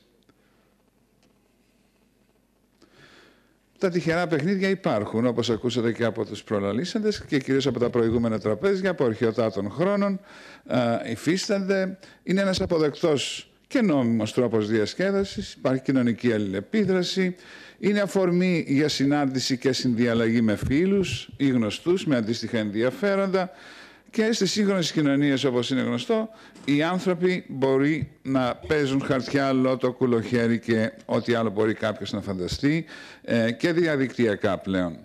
Το θέμα είναι ότι ναι μεν μπορούμε να μιλάμε για τον εθισμό και στο πώς θα αντιμετωπίσουμε άτομα τα οποία είναι εθισμένα αλλά τα μικρά παιδιά όμως ή τα παιδιά τα 15 χρόνια δεν είναι εθισμένα Πώς ξεκινάει αυτή η διαδικασία; Τι γίνεται ας πούμε για την προβολή των uh, τυχερών παιχνιδιών στο διαδίκτυο ή στην τηλεόραση; Πώς εγκλωβίζονται τα μικρά παιδιά και φτάνουν στο σημείο να πάρουν την κάρτα του πατέρα τους ή της μητέρας τους και να παίξουν στο διαδίκτυο. Ποια είναι λοιπόν τα κίνητρα ή πώς δημιουργούνται οι διάφοροι προσανατολισμοί σε σχέση με το να οδηγηθούμε και να παίζουμε συγκεκριμένα τυχερά παιχνίδια; Τα τυχερά παιχνίδια μεταξύ των νεαρών ενηλίκων μπορούν να δημιουργήσουν προβλήματα και να σχετίζονται με μία σειρά από αρνητικές συνέπειες. Έτσι, αυτό το ακούσαμε ε, από όλους τους ομιλητές. Για την καλύτερη πρόβλεψη της συμπεριφοράς των ατόμων που συμμετέχουν σε τυχερά παιχνίδια είναι χρήσιμο να κατανοήσουμε τα κίνητρα. Και όπως θα δείτε, είναι και πολλά κίνητρα τα οποία ενεργοποιούνται ε, συμμετέχοντας σε τυχερά παιχνίδια. Σκοπός της παρουσίας αυτής είναι να χρησιμοποιήσουμε μία θεωρία κινήτρων, τη θεωρία του αυτοπροσδιορισμού, self-determination theory λέγεται, τον Ντέσι και Ράιαν, όπου από το 1985 και μετά ε, έχει ε, αλλάξει σημαντικά τον τρόπο με τον οποίο αντιλαμβανόμαστε και εξηγούμε συμπεριφορές όχι μόνο για τα τυχερά παιχνίδια, αλλά για καταχρήσεις, ακόμη για ενασχόληση με αθλητισμό, με φυσική δραστηριότητα, με ε, συγκεκριμένη γνώση, με τη μουσική, με οποιαδήποτε γενικότερα ε, φυσική δραστηριότητα. Και φυσικά να αξιολογήσουμε πώς οι διάφοροι προσανατολισμοί ή παράγοντες της παρακίνησης συνδέονται με τη συμπεριφορά του τζογαδόρου και πώς αυτές οι συμπεριφορές επηρεάζονται από κίνητρα που πηγάζουν από την ενασχόληση με τα τυχερά παιχνίδια. Όσοι θα δούμε, θα δούμε ότι, όπως θα αναπτύξω ή θα εξηγήσω τη, τη θεωρία, υπάρχουν σημεία που μπορεί κάποιος που ελέγχει τα τυχερά παιχνίδια να καταλάβει ότι κάποιος έχει εγκλωβιστεί. Και εκεί είναι που θα πρέπει να φροντίσει, να τον θεραπεύσει ή να τον σταματήσει. Κάτι το οποίο δεν γίνεται. Ας δούμε όμως τι είναι αυτοπροσδιορισμός. Οφείλεται, αναφέρεται στην αντίληψη του ατόμου ότι έχει την δυνατότητα επιλογών. Γι' αυτό είναι μια θεωρία αυτοπροσδιορισμού. Ξεκινάει από χαμηλό αυτοπροσδιορισμό και φτάνει σε υψηλό αυτοπροσδιορισμό. Όταν ένα άτομο είναι αυτοπροσδιοριζόμενο, τότε έχει την ικανότητα να επιλέγει τις ενέργειές του χωρίς να επηρεάζεται από εξωτερική πίεση, εξαναγκασμό ή από κάποιο αίσθημα υποχρέωσης. Οι επιλογές του στηρίζονται στη συνειδητοποίηση των αναγκών και την ερμηνεία των περιβαλλοντικών ερεθισμάτων. Εδώ είναι έτσι το γενικό πλάνο της θεωρίας. Θα πρέπει να ξέρετε ότι στη θεωρία αυτή υπάρχουν έξι υπό θεωρίες, τις οποίες θα προσπαθήσω έτσι να τις καλύψω χωρίς να τις διαχωρίσω μέσα σε, ε, σε πέντε λεπτά. Σύμφωνα με τη θεωρία, τρεις είναι οι βασικές ψυχολογικές ανάγκες για κάθε άνθρωπο. Η μία έχει σχέση με την αυτονομία, η άλλη έχει σχέση με την επάρκεια και ανταγωνιστικότητα και η άλλη έχει σχέση με τη σύναψη σχέσεων. Οπότε εκείνο το οποίο παρατηρούμε είναι ότι υπάρχει μία συνεχής αλληλεπίδραση μεταξύ ψυχολογικών αναγκών και περιβαλλοντικών συνθήκων στον άνθρωπο. Η βασική αρχή της θεωρίας είναι ότι τα κίνητρα που βοηθούν τον άνθρωπο στο να πάρει μέρος σε μια διαδικασία ή ε, δραστηριότητα χωρίζονται σε δύο κατηγορίες, σε αυτόνομα και ελεγχόμενα. Τα αυτόνομα κίνητρα συμπεριλαμβάνουν δύο τύπους κινήτρων. Εσωτερικά, τα οποία θα σας το εξηγήσω ας πούμε τόσο λίγο, και εξωτερικά, αλλά τα εξωτερικά εκείνα κίνητρα τα οποία εγώ θεωρώ σημαντικά για μένα. Και τα ελεγχόμενα κίνητρα συμπεριλαμβάνουν το είδος των εξωτερικών κινήτρων, τα οποία οθούν τον άνθρωπο να δράσει κάτω από την εμπειρία της εκπλήρωσης μιας εξωτερικής απέτησης. Μα για την εκπλήρωση αμοιβής. Μα στο να κυνηγήσω το κέρδος. Μα γιατί να μην παίξω κι εγώ. Μα γιατί να μην κάνω εκείνο ως όταν οι άνθρωποι δρούν παρακινούμενοι από αυτόνομα κίνητρα, τότε βιώνουν την ελευθερία της επιλογής τους, καθώς και την αυτοϋποστήριξη των δράσεών τους. Στην περίπτωση λοιπόν των εσωτερικών κινήτρων, μιλάμε για προσωπική επιλογή και την πρόκληση της συμμετοχής που συνοδεύεται από την πηγαία ευχαρίστηση. Δηλαδή κάνει ότι το ευχαριστεί. Εάν εμείς φτάσουμε σε ένα σημείο να βομβαρδίζουμε συνεχώς τα άτομα και ιδίως τα μικρά παιδιά ότι, ε, και λέχθηκε εδώ αρκετές φορές ότι playing for fun, έτσι, gamble for fun, ε, το να παίξεις για ευχαρίστηση πρέπει το κοινό να είναι συγκεκριμένο και να γνωρίζουμε ότι το κοινό αυτό έχει τη δυνατότητα να αξιολογήσει τι εννοούμε το, τη λέξη ευχαρίστηση. Σε περίπτωση των εξωτερικών κινήτρων, μιλάμε για όθηση του ατόμου να συμμετάσχει για συγκεκριμένους εξωτερικούς λόγους. Παίξε και εσύ να κερδίσεις. Ε, η καλύτερη διαφήμιση που πιστεύω, δεν, δεν πιστεύω ότι γίνει κάποια έρευνα στην Ελλάδα για αυτόν τον τομέα, αλλά ποια διαφήμιση έβρε περισσότερα, τους περισσότερους παίχτες, ας πούμε στο Λότο ή στο, στο Τζόκερ κτλ.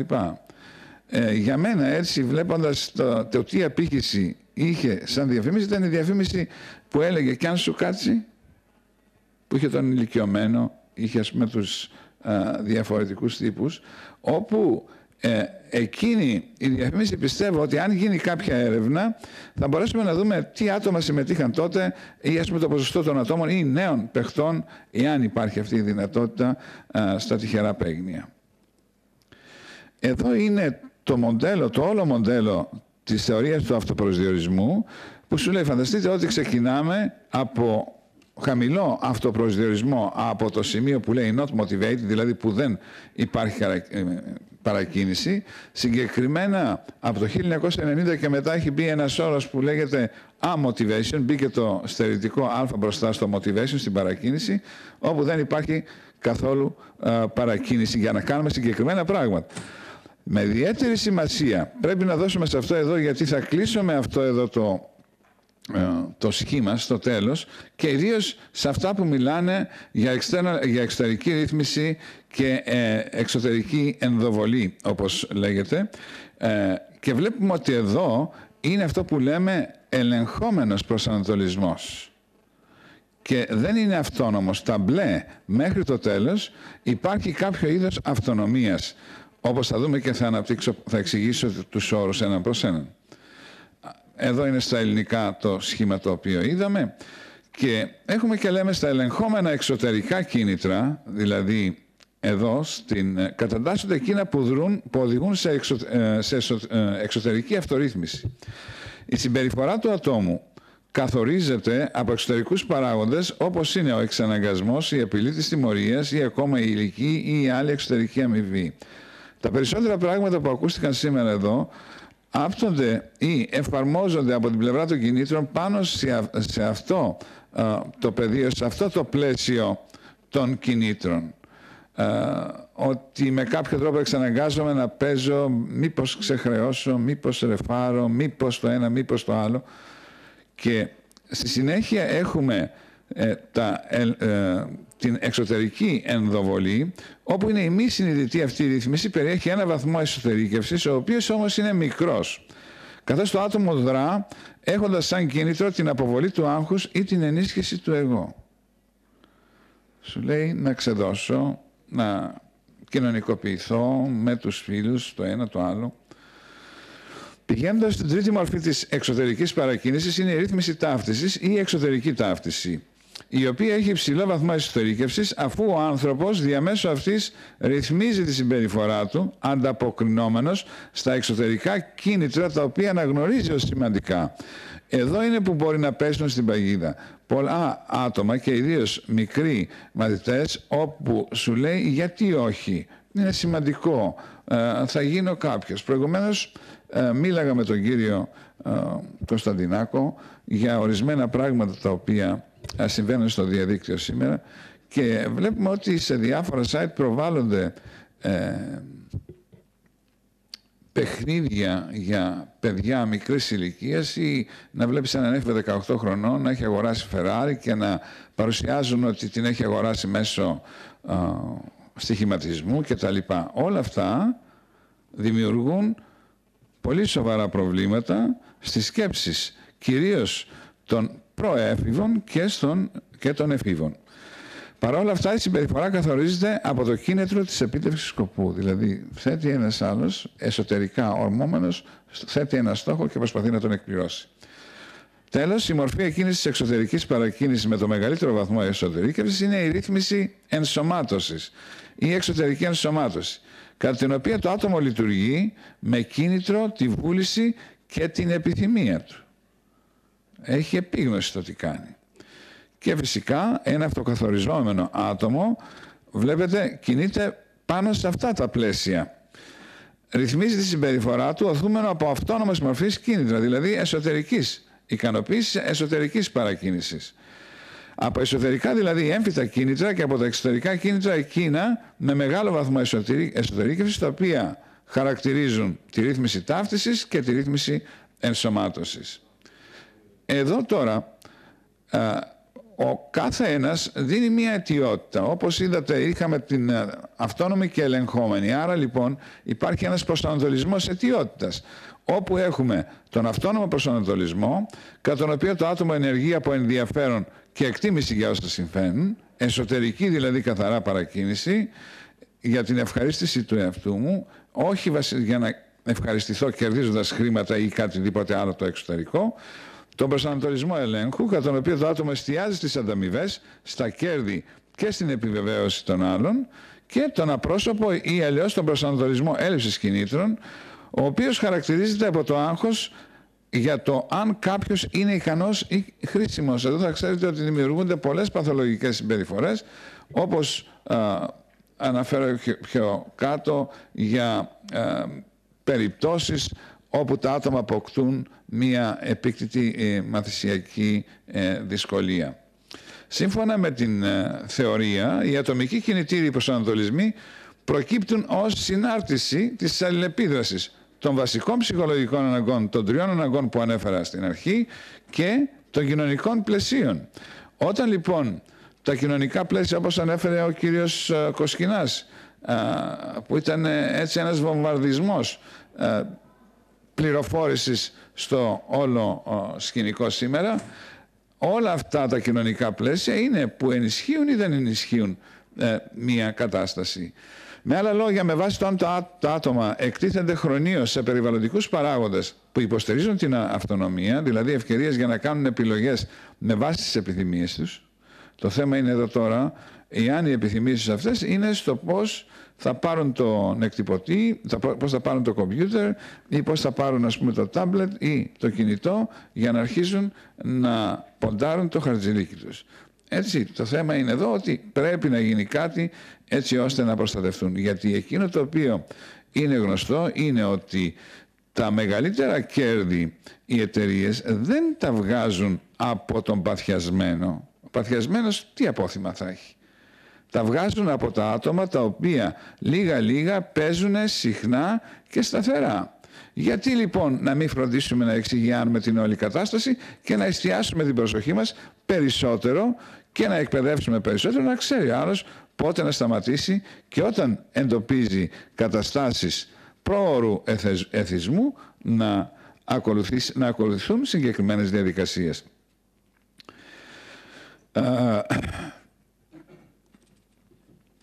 Αυτοί οι σχετικά σταθεροί προσανατολισμοί παρακίνησης πιστεύετε ότι επηρεάζουν σε μεγάλο βαθμό τον τρόπο με τον οποίο ρυθμίζεται η συμπεριφορά σε διάφορους τομείς.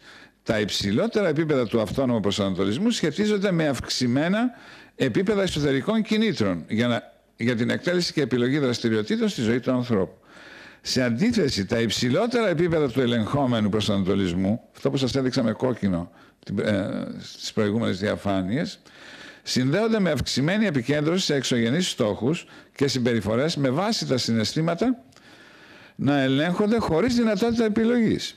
Και σε σχέση με τα άτομα με ελεγχόμενο προσανατολισμό, τα αυτόνομα άτομα τείνουν να έχουν περισσότερο ενδιαφέρον, εμπιστοσύνη και ενθουσιασμό, τρία χαρακτηριστικά τα οποία θα δείτε αποτελούν βασικά κίνητρα, τα οποία μπορούν να επιβεβαιωθούν μέσα από τα υψηλότερα επίπεδα απόδοσης, επιμονής, αυτοεκτίμησης και γενικής ευημερίας. Για να μην μακρογορήσω πολύ, μάλιστα κύριε μάλιστα κύριε Αλεξόπουλε. Πάμε τώρα να παρουσιάσω ορισμένα ευρήματα από το χώρο να παρουσιάσω ορισμένα ευρήματα από το τι ακριβώς έχει γίνει. Όπως είδατε, όπως είδατε προηγουμένως, εκείνο...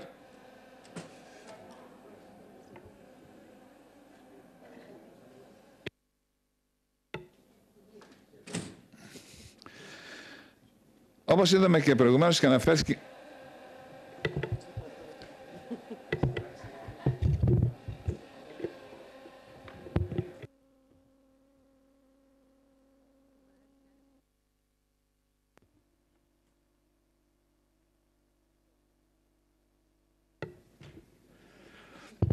Λοιπόν, εν ολίγης, τα άτομα με χαμηλό προσανατολισμό αυτονομία και υψηλό ελεγχόμενο και απρόσωπο προσανατολισμό τείνουν να εμφανίζουν υψηλότερα επίπεδα για το αλκοόλ, το κάπνισμα, τα τυχερά παιχνίδια, προβλήματα εικόνας, ακόμη και επικίνδυνη σεξουαλική συμπεριφορά. Εδώ είναι, θα, θα ήθελα να σας πω ότι είναι από έρευνες οι οποίες έχουν γίνει με συγκεκριμένα ερωτηματολόγια, τα οποία έχουν δημιουργήσει οι Neighbors και ε, Rodriguez, από το 2002 είναι στο τμήμα της ψυχολογίας του Πανεπιστήμιου του Houston. Και θα πρέπει να ξέρετε ότι υπάρχει και ένα επιστημονικό περιοδικό που εκδίδεται από τη Springer, είναι το Journal of Gambling Studies, το οποίο οι περισσότεροι ε, όχι μόνο δεν το, ε, δεν το γνωρίζουν, αλλά πιστεύουν ότι τα πανεπιστήμια δεν είναι καλό να ασχολούνται με έρευνες οι οποίες αφορούν ε, στοιχηματικές εταιρείες κτλ. Σε αυτό πιστεύω ότι έχουν λάθος. Γιατί έχουμε τη δυνατότητα να παράγουμε χρήσιμες πληροφορίες, όχι για τη βελτίωση των κερδών, ξέρουν πάρα πολύ καλά πώς θα βελτιώσουν τα κέρδη τους, αλλά για την προστασία περισσότερο του εμπλεκόμενου. Τα κίνητρα λοιπόν αυτά αξιολογήθηκαν με βάση την κλίμακα κινήτρων τυχερών παιχνιδιών, το Gambling Motive States, και εδώ είναι τα 16 κίνητρα τα οποία ε, υπάρχουν. Όλοι οι ομιλητές σήμερα μίλησαν ε, για το καθένα από αυτά. Για απόλαυση, ενθουσιασμό, πλήξη, νίκη, ανταγωνισμό, κοινωνικότητα, ρίσκο, ικανότητα, ενδιαφέρον, χρήματα, τύχη κτλ. Δεν θα τα πω, αλλά θα σας τα δείξω στα δεδομένα. Εδώ είναι από έρευνα των Ροντρίγκες το 2014, όπου τι βρήκανε. Βρήκαν ότι έξι από αυτούς τους παράγοντες παίζουν πάρα πολύ σημαντικό ρόλο στο, στην εμπλοκή με τα τυχερά παιχνίδια. Εκείνο το οποίο είναι καταδικαστικό, ή μάλλον τα δύο που είναι καταδικαστικά, ε, βλέπετε το control και το, ε, και το escape, κυρίως το control, το, συγγνώμη, το chasing. Το chasing τι είναι, είναι το, αυτό που λέμε το κυνηγητό, κυνηγάω την νίκη. Ή αυτό που λένε κυνηγάω να ρεφάρω. Δηλαδή θα ποντάρω περισσότερα για να μπορέσω να κερδίσω, να μπορέσω να κερδίσω και τα χάνει. Εδώ είναι αυτός ο παθολογικός, αυτός ο οποίος παίζει παθιασμένα και δημιουργεί τα προβλήματα στη ζωή του και στην κοινωνία του. Εμείς όμως έχουμε τη δυνατότητα από το εκπαιδευτικό σύστημα και μέσα από τη διαπαιδαγώγηση να τον προστατεύσουμε πριν φτάσει. Να έχει δηλαδή σημεία ελέγχου και κατανόησης αυτής της κατάστασης. Βλέπουμε εδώ πάλι το τι ακριβώς γίνεται ότι ή ας πάω κατευθείαν στο, ε, στο τέλος, εδώ που θα... Τι έχουν βρει όλες οι έρευνες. Δηλαδή οι έρευνες, οι παλές πάντα σου λέει γιατί παίζει ο άλλος για χρήματα, ενθουσιασμό και απόλαυση. Το ακούσαμε πολλές φορές. Δύο από τα κίνητρα όμως που, στοιχεί, που ε, σχετίζονται σταθερά με προβληματικές συμπεριφορές είναι το κυνηγητό αυτό που σας είπα, το, το chasing και η απόδραση. Όταν το κάνει άλλος για να ξεφύγει. Μα δεν ε, είναι χρόνια παντρεμένος και θέλει να ξεφύγει. Ή έχει τσακωθεί ας πούμε με τον ένα ή με τον άλλο. Ε, αυτά τα άτομα είναι στην κόκκινη ζώνη που λέμε. Η αυτονομία, δηλαδή τα άτομα, όταν αναπτύσσεις άτομα τα οποία δίνουν μεγαλύτερη έμφαση στα εσωτερικά τους κίνητρα, τότε προστατευόμαστε από τον προβληματικό τζόγο. Έτσι, γιατί είναι τα άτομα τα οποία δεν θα κυνηγήσουν για απώλειες, θα αποδεχθούν ότι έχω παίξει, έχω χάσει, ας σταματήσω εδώ, ενώ τα άτομα όμως τα οποία είναι με ελεγχόμενους προσανατολισμούς θα συνεχίσουν και είναι ικανοί να ποντάρουν τα πάντα. Έχουμε λοιπόν τη δυνατότητα να μιλάμε και να προσπαθούμε να εκπαιδεύσουμε, αν όχι να εκπαιδεύσουμε, να πληροφορήσουμε καλύτερα το κοινό, γιατί το κοινό θα συνεχίσει να παίζει. Δεν υπάρχει περίπτωση να σταματήσει, δεν το κατόρθωσε κανένας. Οι κυβερνήσεις θα κοιτάξουν να έχουν καλύτερο έλεγχο πάνω σε αυτό το, το κομμάτι, δηλαδή να αποκομίζουν τα κέρδη τα οποία πρέπει, ωστόσο όμως μια σωστή πληροφόρηση και καλύτερη καθοδήγηση είναι αυτό που θα βοηθήσει στο να θα συμβάλλουν στην υγιέστερη μάλιστα και ασφαλή συμμετοχή στα τυχερά παιχνίδια. Σας ευχαριστώ για την προσοχή σας.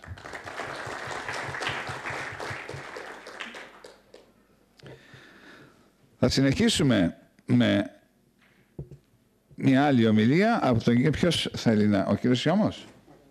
Λοιπόν, κύριε Πρόεδρε, μου δίνετε και εμένα ένα βήμα ε, με βάση τα όσα είπατε να το πάω κι εγώ λίγο περισσότερο, λίγο παραπέρα, αν μπορώ. Καταρχήν ευχαριστώ πολύ. Ήταν εξαιρετική όλη η μερίδα. Την παρακολούθησα από την αρχή και ελπίζω να, μέχρι το τέλος να ακούσουμε και άλλα ωραία πράγματα. Ε, εγώ θα ξεκινήσω με δύο μελέτες της εταιρείας, ε, δημοσιευμένες στο Journal of Δύο, το 2013. Λοιπόν, θα εστιάσω στο... Εγώ έχω κλινικό ενδιαφέρον με παιδιά και εφήβους, δουλεύω με αυτούς, οπότε να δούμε λίγο τις συνέπειες όλων αυτών που αφορούν τον διαδικτυακό τζόγο. Δηλαδή θα είναι λίγο εστιασμένη η παρουσίαση. Ο στόχος, λίγες μελέτες με αξιόπιστη μεθοδολογία στις ηλικίες 12-18, δηλαδή την κρίσιμη ηλικία στο τι, θα, τι εξέλιξη, τι πορεία θα έχει ένας άνθρωπος στο μέλλον. Αφορούν οι μελέτες οι δύο, είναι η μία απογραφική στην ΚΟ και η άλλη ε, αντιπροσωπευτική στο 10% του πληθυσμού στην Κύπρο, 2.048 παιδιά στην πρώτη, 2.680 παιδιά στη δεύτερη. Λοιπόν, και θα δούμε για ποιες είναι οι ιδιαιτερότητες του διαδικτύου και η ταχύτητα τεχνολογική εξέλιξη και πώς επηρεάζει όλα αυτά που αναλύσαμε σήμερα. Καταρχήν υπάρχει, υπάρχουν κάποιες ιδιαιτερότητες. Αδυναμία προστασίας των εθισμένων από την πολιτεία από τον ίδιο τον εαυτό τους. Σκεφτείτε ότι στο πιο απλό ότι ένα παιδί βάζει ψευδή στοιχεία, είναι 10 ετών και μπαίνει σε σελίδες κοινωνικών δικτύων που το ίδιο το Facebook απαγορεύει κάτι των 13. Περίπου όμως 20% των παιδιών χρησιμοποιούν κοινωνικά δίκτυα ενώ δεν πρέπει να τα χρησιμοποιούν. Αδυναμία εξακρίβωσης ηλικίας του παίκτη, όπως και στις σελίδες τυχερών παιχνιδιών. Αδυναμία ενημέρωσης οικογένειας περίγυρου. Όντως υπάρχουν ελάχιστα προγράμματα πρόληψης πλάγιες τακτικές προσέλκυσης παικτών. Ο Griffiths στο International Unit ε, for Gaming and Gambling στο Nottingham, ε, στο Πανεπιστήμιο, που είναι ο μελετητής με τις περισσότερες δημοσιεύσεις, μιλάει για πλάγιες τακτικές. Ένα τεράστιο φαινόμενο που δεν ακούστηκε σήμερα καθόλου είναι τα games like gambling. Στρατιές ολόκληρες παιδιών σε κοινότητες παιχνιδιών, τα MMORPG, ξεκινούν μπαίνοντας σε μια νέα διαδικασία με ένα επιπλέον κίνητρο, το κέρδος. Δηλαδή υπάρχουν μια σειρά παιχνιδιών, θα τα δείτε, ε, άλλα έχουν παιχνίδια στρατηγικής, άλλα παιχνίδια τα οποία ο ένας ε, σκοτώνει τον άλλον, άλλοι είναι διαχείριση ζωής. Παίχτες παίζουν πάρα πολλές ώρες την ημέρα, εθίζονται σε αυτά και με αποτέλεσμα είναι οι οικονομίες των διαδικτυακών παιχνιδιών είναι πάρα πολύ ισχυρές και βελτιώνουν συνεχώς. Παρ' όλα αυτά, πλην της Κίνας που έθεσε το Internet Addiction ως διαταραχή επίσημη και με προγράμματα, καμία άλλη χώρα στον κόσμο δεν το έχει κάνει αυτό. Και η νέα, η, η Αμερικανική ψυχιατρική εταιρεία η οποία κινεί όλη αυτή τη διαδικασία έρευνας, εκπαίδευσης, προγραμμάτων πρόληψης, το 2013 το Μάιο βγαίνει και λέει Internet Gaming Disorder ως μία διαταραχή υποένταξη, άρα προς περαιτέρω μελέτη. Και στην αναθεώρηση το 2023 θα δούμε αν θα μπει. Λοιπόν, αυτά είναι θέματα που μας μπερδεύουν όλους εμάς και δεν ξεκαθαρίζουν το τοπίο, ούτε τους κλινικούς, ούτε εσάς που δουλεύετε ε, στο χώρο αυτό. Μοναδικές ιδιότητες του ίντερνετ, ανωνυμία, ευκολία πρόσβασης, άειλο χρήμα. Δεν το δίνω, άρα μπορώ να το ξοδεύω. Ε. Διαφυγή από προβλήματα είναι το πιο σημαντικός παράγοντας σε όλες τις εξαρτήσεις τις συμπεριφορικές που ε, τα τυχερά παιχνίδια έχουν, ε, είναι από τις πιο δύσκολες στη διαχείριση.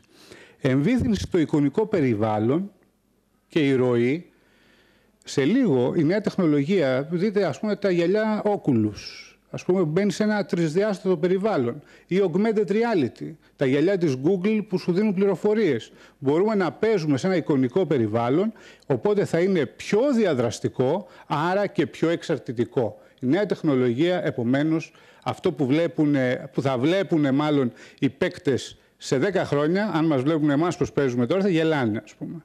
Έτσι, γιατί η τεχνολογία χρόνο με το χρόνο εξελίσσεται ταχύτατα και δεν προλαβαίνει, δηλαδή αν περιμένουμε πότε το νομικό σύστημα ή το πολιτικό σύστημα θα εκπαιδεύσει και θα βάλει το πλαίσιο, θα είναι ήδη πάρα πολύ αργά. Ο τζόγος, ποια είναι η έκθεση του φαινομένου στους ανηλίκους. Περίπου μια σειρά μελετών δίνει ποσοστά από 0,4 μέχρι 7 περίπου της 100. Συνδέεται με το άρεν φύλλο. Τα αγόρια έχουν μεγαλύτερη τάση και πλέον τελευταίες μελέτες ε, διδήμων σε Κίνα και ε, σε Κίνα και Τουρκία δείχνει ακριβώς ότι υπάρχει ένα γενετικό υπόβαθρο καταθλιπτική συμπτωματολογία και διεξαρτητικότητα. Πολλές εξαρτήσεις αρχίζοντας από τον πρώτο συμπεριφορικό εθισμό του παιχνιδιού του απλού εξελίσσεται σε ένα ποσοστό ανθρώπων να εξελιχθούν σε κάπνισμα, αλκοόλ, μαλακά ναρκωτικά κτλ. Οι Επίσης, υπάρχουν ψυχοκοινωνικές δυσκολίες σε όλες αυτές τις περιπτώσεις, διαταραχές διαγωγής, προβλήματα οικογενειακής και κοινωνικής υποστήριξης. Πτωχό δηλαδή. Τώρα, ας δούμε λίγο πώς ξεκινάει ο διαδικτυακός τζόγος. Αθώα. Παίρνουμε ένα παιχνίδι, ας πούμε. 7 εκατομμύρια χρήστες την ημέρα. Μπορεί να είναι και περισσότεροι τώρα. Είναι μεγάλες κοινότητες, τεράστιες. Ρεαλιστικό περιβάλλον. Η κοινωνική δικτύωση. Το ξεκινάμε μέσα από τα κοινωνικά δίκτυα. Άρα μειούμε με άειλο χρήμα, μη υπαρκτό χρήμα. Παίζει, παίζει, το αρέσει, ανεβάζει την τοπαμίνη και πλήρωσε. Και δεν είναι απαραίτητο να χρησιμοποιούμε κάρτες, ας πούμε, πισωτικές, που υπήρχαν τέτοιες περιπτώσεις. Και η δίωξη ηλεκτρονικού εγκλήματος έχει αναφέρει τέτοια. Αλλά σκεφτείτε ότι ένα παιδάκι μπορεί να πάει σε ένα περίπτερο και να πάρει μια κάρτα PaySafe, τις δίνουν εύκολα. Δεν υπάρχει ρυθμιστικό πλαίσιο σε ποιον θα τη δώσω την κάρτα αυτή, σε ένα περίπτερο και μπορεί να αγοράσει ένα σπαθί σε ένα παιχνίδι αλλά μπορεί να παίξει ενδεχομένως και τζόγο.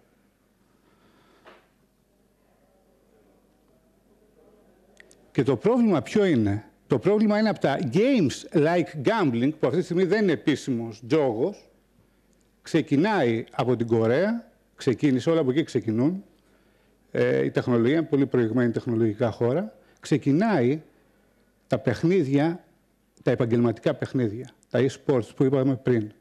Δηλαδή πλέον θα δούμε στρατιές παιδιών, γιατί δεν έχουμε ψηφιακή κουλτούρα, όχι εμείς, καμία χώρα, θα δούμε παιδιά που θα εγκαταλείπουν το σχολείο. Ήδη στο, στη μονάδα εφηβικής υγείας Αγλαία Κυριακού έχουμε ε, παιδιά τα οποία εγκατέλειψαν το σχολείο και τώρα τα προσπαθούν να τα επανεντάξουν στο σχολικό περιβάλλον. Ο λόγος, το gaming. Το απλό gaming, έτσι χωρίς χρήμα. Το gaming. Τώρα, οι έρευνες στην ΚΟ, συνοπτικά θα σας πω, έγιναν με, τα, με τον ΟΚΑΝΑ. 37% ένας στους τρεις δήλωσαν εμπειρία διαδικτυακού τζόγου και πληρούσαν τα κριτήρια το 4,1% και 11,5% όσων είχαν εμπειρία διαδικτυακού τζόγου. Τα ποσοστά είναι μεγαλύτερα, σχεδόν διπλάσια από της Κύπρου που κυμαίνονταν περίπου στο 2,5% περίπου Όλα αυτά όμως συμφωνούν με, τις, ε, με τα ποσοστά και άλλων χωρών σε αντίστοιχες έρευνες. Υπάρχουν, θα δει, έχω και βιβλιογραφία πίσω και στην Ελλάδα, στην ΚΟ, είχαμε στατιστικά σημαντική ε, διαφορά ε, σε μεγαλύτερα ποσοστά σε σχέση με την Κύπρο. Εγώ φέρω ένα καλό, πρόγραμμα καλής πρακτικής 2007-2012 στην Εβάδα για πέντε χρόνια έγινε, ξεκίνησε από μια μελέτη. 49, ένας στους δύο εφήβους της περιοχής είχε τζογάρει τον τελευταίο χρόνο. Ε, φαντάζεστε ότι είναι οι, οι πειρασμοί πολύ περισσότεροι εκεί από ότι εδώ, έτσι. 10% βρίσκεται σε κίνδυνο και 2% κατηγοριοποιούνται ως προβληματικοί τζογαδόροι ήδη ε, ανήλικοι. Εκείνη τη χρονιά που ολοκληρώθηκε το πρόγραμμα, για μία εβδομάδα κηρύχθηκε εβδομάδα ευαισθητοποίησης. Και μη κερδοσκοπικός οργανισμός συντονίζει κοινωνικούς εταίρους, επιβλέπει θεραπευτικά προγράμματα και 24 ώρε γραμμή βοήθειας. Εκεί στο project αυτό, εταιρείες στοιχηματισμού, καζίνο, ε, κοινωνικοί φορείς, θεραπευτικοί φορείς και η πολιτεία έκαναν σύμπραξη. Θεωρώ ότι είναι το καλύτερο μοντέλο ε, διαχείρισης και ανάπτυξης ψηφιακής, θα το πω εγώ, κουλτούρας, σε όλα τα επίπεδα. Το παιχνίδι των τυχερών είναι ένα μέρος. Όλα αυτά σε λίγο θα μπλέξουν και θα μπλεχτούμε και εμείς όλοι ακόμη περισσότερο. Λοιπόν, νομίζω ότι είναι το πιο καθαρό και υπεύθυνο μοντέλο σε μια δυτική, στις δυτικές κοινωνίες, αν θέλουμε να λεγόμαστε πολιτισμένοι, η γενιά, η νέα, η νέα γενιά, οι έφηβοι, τουλάχιστον και οι μικρότεροι, πρέπει να προστατεύονται πώς με πρόληψη. Όλοι οι συμπεριφορικοί εθισμοί αντιμετωπίζονται με πρόληψη. Αν φτάσουμε στη θεραπεία, τελείωσε. Όλα αυτά που είπατε και πριν ισχύουν, άρα ο υπεύθυνος τζόγος είναι ο κοινωνικός στόχος, Και είναι ανάγκη η ρύθμιση του πεδίου που το είπατε όλοι από την αρχή εδώ, δεν θα προσθέσω κάτι καινούριο, είστε πολύ πιο ειδικοί από μένα γι' αυτό. Και η βιβλιογραφία, αν θέλετε να πάρετε στοιχεία, είναι δημοσιευμένα όλα. Ευχαριστώ πολύ. Η επόμενη παρουσίαση θα γίνει από τον κύριο Αναστάσιο Βάσιο, ο οποίος είναι προϊστάμενος του Τμήματος Καζίνων και ε, Παιχνιδομηχανών στη Διεύθυνση Ρύθμισης και Κοινωνικής Ευθύνης. Παρακαλώ. Ε, θα ήθελα να σας ευχαριστήσω, να ευχαριστήσω το Πανεπιστήμιο Πολυπονήσου για την πρόσκληση προς την ΕΕΠ και να συγχαρούμε σαν ΕΕΠ για την ε, πολύ επιτυχημένη και πολύ ενδιαφέρουσα διοργάνωση. Ε, εγώ θα ήθελα να σας πω ότι στο κομμάτι της τράπεζας εμείς δεν θα μιλήσουμε για τον εθισμό και την απεξάρτηση, αλλά κυρίως για τη σημασία της πολιτικής υπεύθυνου παιχνιδιού, διότι οι αρμοδιότητες της ΕΕΠ, έτσι όπως δίνονται από τον νόμο, κυμαίνονται στο να φτιάξει ένα αριθμιστικό πλαίσιο μέσα στο οποίο το παιχνίδι ή ο τζόγος θα γίνεται με έναν υπεύθυνο τρόπο. Ε, η ΕΕΠ, σαν Επιτροπή Εποπτείας και Ελέγχου Παιχνίων, νομοθετικά έχει μια ιστορία, όχι, από το, ε, όχι από το, με βάση το νόμο 4.002 του 2011, αλλά από το 2004 με τον νόμο 3229, ε, ο οποίος νόμος, η μεγαλύτερη σε ηλικία, τώρα σχετικό τη μεγαλύτερη σε ηλικία, θα θυμάστε τότε την υπόθεση με τον κύριο Τριανταφυλόπουλο και τα παράνομα φρουτάκια σε όλη τη χώρα, όπου ανάγκασε, εμπλεκόντουσαν μάλιστα νομίζω και βουλευτές της Πελοποννήσου στη συμμετοχή στα φουρτάκια. Ανάγκασε την ε, ελληνική δημοκρατία να λάβει μια πολύ σημαντική πολιτική παιχνιδιού να απαγορεύσει όλα τα παιχνίδια. Αυτή η απαγόρευση οδήγησε σε ένα πρόστιμο από την Ευρωπαϊκή Επιτροπή, το οποίο μέχρι την ε, κατάρτιση των κανονισμών των ηλεκτρονικών τεχνικών ψυχαγωγικών παιχνίων και των τυχερών παιγνιών μέσω παιχνομηχανημάτων το 2014 έφτασε στα 33 με 33 εκατομμύρια ευρώ. Ε, αυτή ήταν η πρώτη μορφή πολιτικής υπεύθυνου παιχνιδιού που εφάρμοσε το ελληνικό κράτος. Ωστόσο, με 2002 του 2011 έρχεται να δώσει ε, αρμοδιότητες ε, ανεξάρτητης αρχής πλέον στην Επιτροπή Εποπτείας και Ελέγχου Παιχνίων και της δίνει με το άρθρο 29 ε, την αρμοδιότητα να φτιάξει τους κανόνες τους, του υπεύθυνου παιχνιδιού που αφορούν τους κατόχους άδειας, όσοι εκμεταλλεύονται παίγνια, τους παρόχους, τους παίκτες, τα χρηματοπιστωτικά ιδρύματα, τους ιδιοκτήτες των καταστημάτων, τους παρόχου τους παρόχους υπηρεσιών διαδικτύου, τους διαφημιστές και κάθε εμπλεκόμενο σχετική διαδικασία. Η ΕΠ ουσιαστικά το 2012, το Φλεβάριο του 2012 συγκροτήθηκε σε σώμα. Ε, με τα εννιά μέλη της τοποθετήθηκαν με απόφαση του Υπουργού Οικονομικών. Ε, το πρώτο μέλημά της ήταν να θέσει με τους γενικούς κανόνες της διεξαγωγής του ρυθμιστικού της πλαισίου έθεσε έναν βασικό κανόνα, τον κανόνα της κοινωνικής ευθύνης και συνέστησης, σύμφωνα με τον οποίο η Επιτροπή προωθεί το υπεύθυνο παιχνίδι και για τον λόγο αυτό ε, πρέπει και οφείλει να έχει επίγνωση και να κατανοεί τις ανάγκες του κοινωνικού συνόλου, καθώς και να διατηρεί άμεση και ανοιχτή επικοινωνία με τους πολίτες, με ιδιαίτερη έμφαση στις ευάλωτες ομάδες. Το 2013 θέτει μέσω του στρατηγικού τους πλάνου, το οποίο έχει κατεθεί στη Βουλή 2013-2015, θέτει μέσω του τρίτου στρατηγικού στόχου τις προτεραιότητές της και, ένας, και βασική προτεραιότητα είναι η προστασία των παικτών και του κοινού, ιδιαίτερα των ανηλίκων και των ευάλωτων ομάδων του πληθυσμού, την εκμετάλλευση και τις βλαπτικές συνέπειες που μπορούν να προκληθούν από τη συμμετοχή στα παίγνια, κυρίως των, των τυχερών. Ε, το 2014 έρχεται η σύσταση της Ευρωπαϊκής Επιτροπής, η οποία προτείνει στα κράτη-μέλη να λάβουν κάθε πρόσφορο μέτρο για να διαφυλάξουν την υγεία καθώς και την ελαχιστοποίηση των ενδεχόμενων οικονομικών βλαβών που μπορεί να προκύψουν από την παθολογική εξάρτηση ή την υπερβολική συμμετοχή στα τυχερά παίγνια.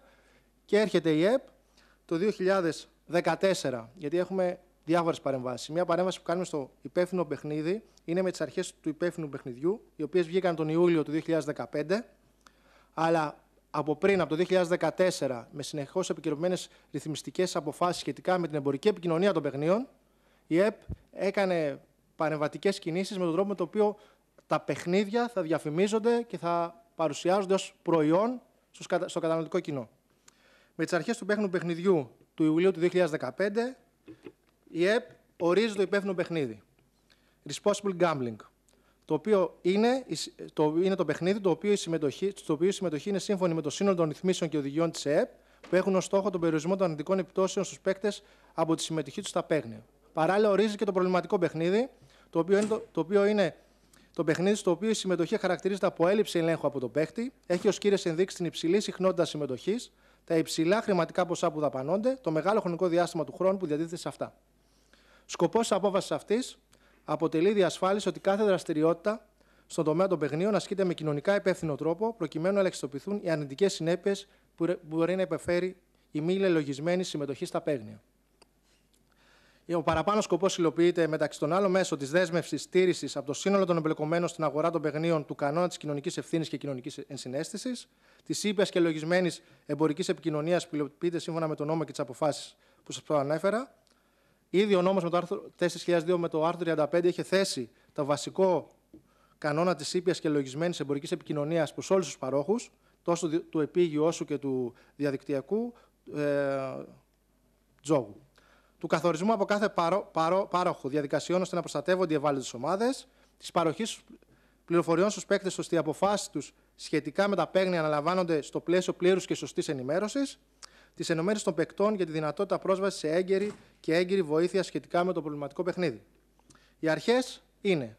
Οι αρχές, οι οποίες θα ήθελα να κάνω εδώ μια παρένθεση, να πω ότι ε, είχαμε συνεργασία μέσω της, ε, με το άρθρο 29, καταρτίστηκε μια συμβουλευτική επιτροπή, της οποίας μέλης αποτελεί και η ελληνική η εταιρεία μελέτης του εθισμού, το ΚΕΘΕ Α, με το οποίο είχαμε συνεργασία για να καταρτήσουμε αυτές τις αρχές του παιχνιδιού, καθώς και να κάνουμε διάφορες από τις δράσεις. Και έχουμε συνεργασία τόσο με τον κύριο με, την, με το ΚΕΘΕΑ Α και με τον κύριο Αντώνη Πάριο, όσο και με τον κύριο Σιώμο, καθώς και με τους ανώνυμους τζογαδόρους. Ε, για να επανέλθω, οι αρχές του παίχνου παιχνιδιού ε, είναι η έκβαση των παιχνίων εξαρτάται καθαρά και αποκλειστικά από την τύχη. Τα παίγνια προσφέρουν διασκέδαση και δεν αποτελούν μέσο πλουτισμού. Η συμμετοχή στα παίγνια δεν απειλεί το επίπεδο αξιοπρεπούς διαβίω... δεν απειλεί το, ε, απειλεί το επίπεδο αξιοπρεπούς διαβίωσης, δεν διασαλεύει την οικογενειακή γαλήνη και δεν απορριθμίζει τις κοινωνικές σχέσεις. Η συμμετοχή σε παίγνιο αποτελεί ελεύθερη και ανεξάρτητη προσωπική βούληση και απόφαση, unstimulated gambling. Κάθε απόφαση συμμετοχής στα παίγνια λαμβάνεται κατόπιν πλήρους και ορθής ενημέρωσης σχετικά με τη διεξαγωγή τους και τον τρόπο συμμετοχής. Η εμπορική επικοινωνία, όπως ξαναείπαμε και, θα, και έχουμε επιμείνει πολύ σε αυτό το κομμάτι, είναι ήπια και λογισμένη και αφορά αποκλειστικά και μόνο την ενημέρωση του κοινού για τα νόμιμα δίκτυα διεξαγωγής παιχνίων. Δεν έχει, η εμπορική επικοινωνία, που θα πω και παρακάτω, δεν έχει στόχο να κάνει το προϊόν πιο ελκυστικό. Έχει μόνο να ενημερώσει τον κόσμο ότι αυτοί εμείς είμαστε νόμιμοι, ελάτε να παίξει εμάς που είμαστε νόμιμοι. Όχι έχουμε καλύτερο προϊόν, όχι προσφέρουμε καλύτερα κέρδη.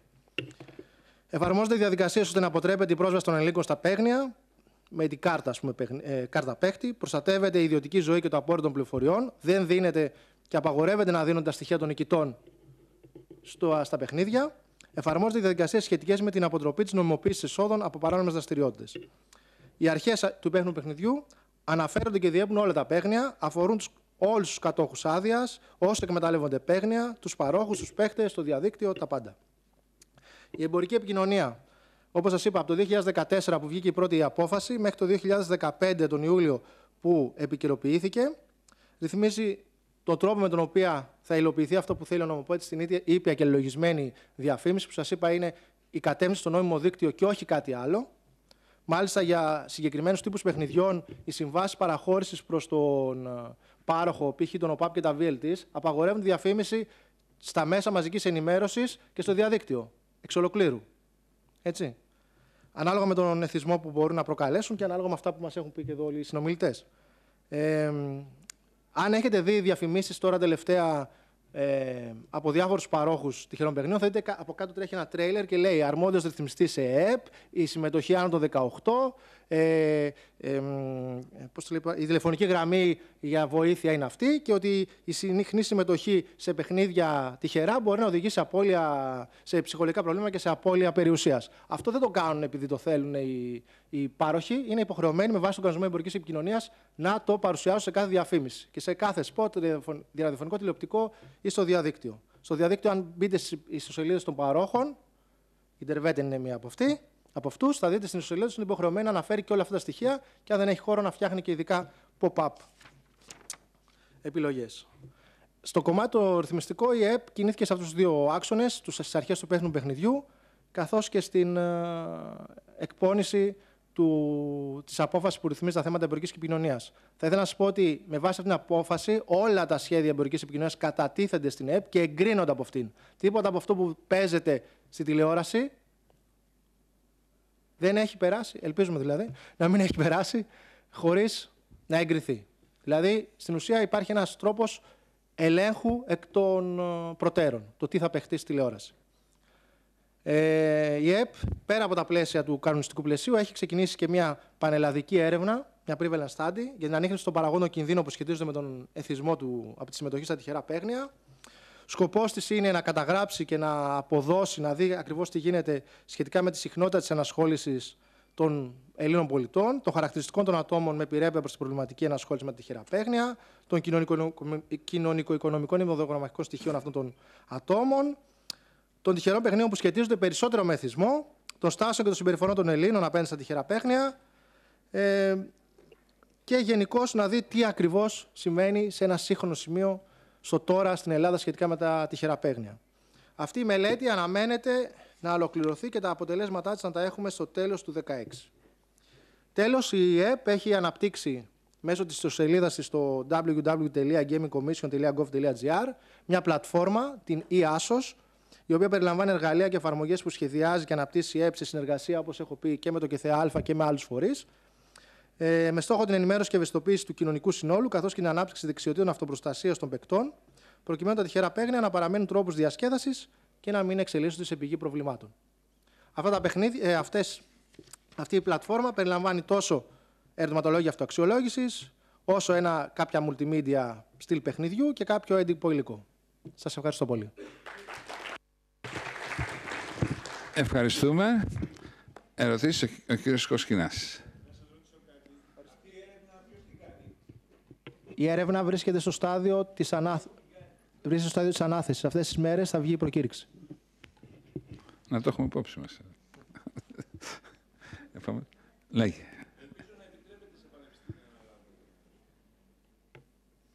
Τώρα τα κριτήρια, είμαι στην Επιτροπή που καταρτίζει τα κριτήρια. Τα κριτήρια είναι κυρίως ο φορέας που θα την υλοποιήσει να έχει τέτοιο background, εκπαιδευτικό και επιστημονικό. Ε, καλησπέρα και από μένα. Ε, εγώ θα ήθελα να πω ότι όπως το αλκοόλ και το κάπνισμα είναι θυστικά και με αρνητικές συνέπειες για τον άνθρωπο, ε, έτσι είναι και ο τζόγος. Όμως, ενώ στα παραπάνω απαγορεύονται να γίνονται χορηγοί σε αθλητικά γεγονότα, παρατηρούμε το φαινόμενο στοιχηματικές εταιρείες να γίνονται χορηγοί σε ομάδες, ακόμα και σε πρωταθλήματα ολόκληρα. Κατά τη γνώμη σας, ε, θα έπρεπε να υφίσταται αυτό ή όχι; Ή αυτό το γεγονός μπορεί να επηρεάζει την ψυχοσύνθεση του ατόμου και να το οδηγεί στον τζόγο με αποτέλεσμα τον εθισμό του; Ευχαριστώ.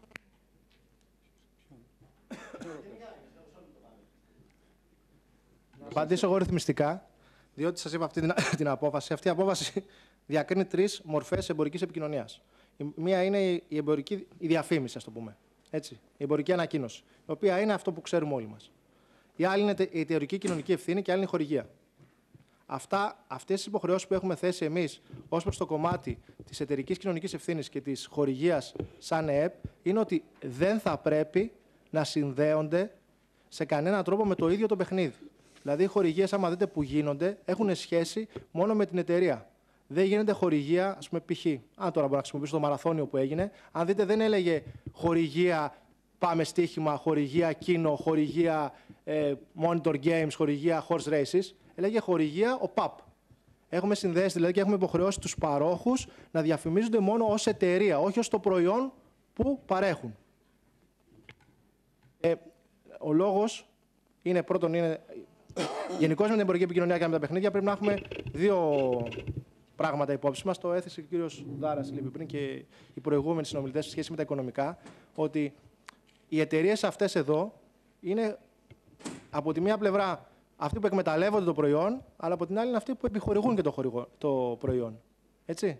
Δηλαδή, σκεφτείτε τι θα γινόταν άμα έλεγαμε εμείς ότι απαγορεύεται να χορηγήσει τη Super League, ξέρω εγώ, τι θα γινόταν όλες αυτές οι ομάδες, θα ερχόντουσαν εδώ και θα λέγανε σε μια επιτροπή, μου ασκόβει το 90% των εσόδων. Έτσι, η Επιτροπή, όπως σας είπα, ακούει όλες τις πλευρές και προσπαθεί να βρει μια ισορροπία, όπως είχε πει και ο Πρόεδρος, μεταξύ επιχειρηματικότητας και προστασίας του κοινωνικού συνόλου.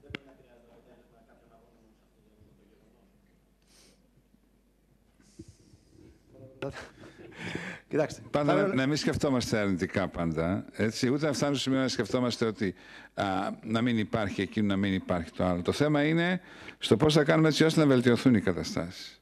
Είναι, ούτε... σαν το... ναι. είναι σαν το μαχαίρι, πώς το χρησιμοποιούμε. Αλλά θα έπρεπε να ήταν εδώ ο κύριος CEO της Συντρεβέντε να σας απαντήσει καλύτερα ότι οι στοιχηματικές εταιρείες κερδίζουν από τη συμμετοχή των, των παιχτών, των τζογαδόρων στο παιχνίδι. Δεν κερδίζουν από τα στημένα παιχνίδια. Τους ενδιαφέρει όσο περισσότεροι παίχτε και γι' αυτό φωνάζουν για την εμπορική επικοινωνία και έλεγε πριν ότι αφήστε μας να διαφημίσουμε το προϊόν μας σε σχέση με τους μαύρους που δεν κάνουν κτλ. Διότι κερδίζουν από τη συμμετοχή, έχουν γκανιότα. Οι στοιχηματικέ εταιρείε κερδίζουν πάντα, άσχετα με ποιο ομάδα θα κερδίσει. Έτσι, έχουν ένα, μια γκανιότητα της τάξης του 12% στο επίγειο και γκρινιάζουν οι διαδικτυακοί γιατί είναι μόλις του 2% στο online λόγω ανταγωνισμού. Φανταστείτε ότι πρέπει να βγάλουν μια εταιρεία σαν τη μικρομεσαία, βγάζει 300 εκατομμύρια το χρόνο και με το ζόρι επιβιώνει άμα κάνει μια χασούρα. Δηλαδή, αν κάποιος στήσει ένα παιχνίδι σε μια εταιρεία των 300 εκατομμυρίων κύκλου, έτσι, GGR, το χρόνο ένα παιχνίδι να τη στήσει, την έστειλες πίσω από τα κάγκια. Θέλει να κάνει κάποια παρέμβαση ο κύριος Κοσκινάς. Α, πατήστε κύριε Κοσκινά. Όχι το... Ε, εσείς εκπροσωπείτε την ΕΕΠ αυτή τη στιγμή; Εγώ είμαι ο προϊστάμενος του τμήματος καζίνο και παιγνομηχανημάτων VLT σκηνό σε εσάς. Ναι. Της ΕΕΠ, της Διεύθυνσης Ρύθμισης. VLT δεν υπάρχουν παρά μόνο στα καζίνο. Slot machine υπάρχουν στα καζίνο. VLT θα υπάρξουν στις γειτονιές μας αν κάποια στιγμή. Άρα το μισό αντικείμενο της εργασίας σας δεν το ασκείτε. Εννοείται τι δεν το ασκούμε. Διότι δεν υπάρχουν VLTs. Τα VLTs έχουν, αυτή τη στιγμή υπάρχουν 7.000 VLTs στην Ελλάδα στις αποθήκες του ΟΠΑΠ και 60 πιστοποιημένα καταστήματα ναι. έτοιμα να λειτουργήσουν. Ναι, συγγνώμη, κάνετε κοινωνική ευθύνη στις αποθήκες του ΟΠΑΠ. Τι εννοείται κοινωνική ευθύνη; Εδώ λέτε, λέει ότι είσαστε υπεύθυνος καζίνο και παιγνιομηχανών στη διεύθυνση ρύθμισης και κοινωνικής ευθύνης. Βέβαια. Ωραία. Επομένως, δεν το κάνω την κριτική σε εσάς προσωπικά. Με συγχωρείτε. Απευθύνομαι στη λειτουργία της ΕΕΠ. Εντάξει, και η, η λειτουργία της ΕΕΠ σας έχει υπεύθυνο για παιχνιδομηχανές οι οποίες δεν υπάρχουν. Σας είπα πριν ότι οι παιχνιδομηχανές έχουν πιστοποιηθεί αυτή τη στιγμή 7.500 παιχνιδομηχανές. Δηλαδή, μας λέτε ότι θα μπουν οι παιχνιδιομηχανές, γιατί θα, αυτό Αυτή θα τη είναι στιγμή- είδηση. Αυτή τη στιγμή υπάρχουν, δεν ξέρω, το πότε θα μπουν σε λειτουργία είναι καθαρά θέμα του ΟΠΑΠ που έχει την άδεια. Ο Αυτή τη ΠΑΠ, στιγμή σ- συγγνώμη, ε, ε, δεν ξέρω αν έχετε παρακολουθήσει, αλλά έχουν απαγορευτεί αυτή τη στιγμή η λειτουργία. Δεν έχει έχουν απαγορευτεί. καταφύγει στα δικαστήρια όλοι. Πώς δεν θα έχει απαγορευτεί η λειτουργία. Ο κανονισμός είναι σε ισχύ, δεν έχει προσφύγει ο ΠΑΠ κατά του κανονισμού. Άλλωστε, έχει παρέλθει και αυτή η μερ- η νομική προθεσμία να προσφύγει δικαστικά κατά του κανονισμού. Ο κανονισμός λέει ότι δεκα- έχει δε- με βάση τον νόμο 18 μήνες από τον κανονισμό να αναπτύξει το δίκτυο των 16.500 παιγνομηχανημάτων του.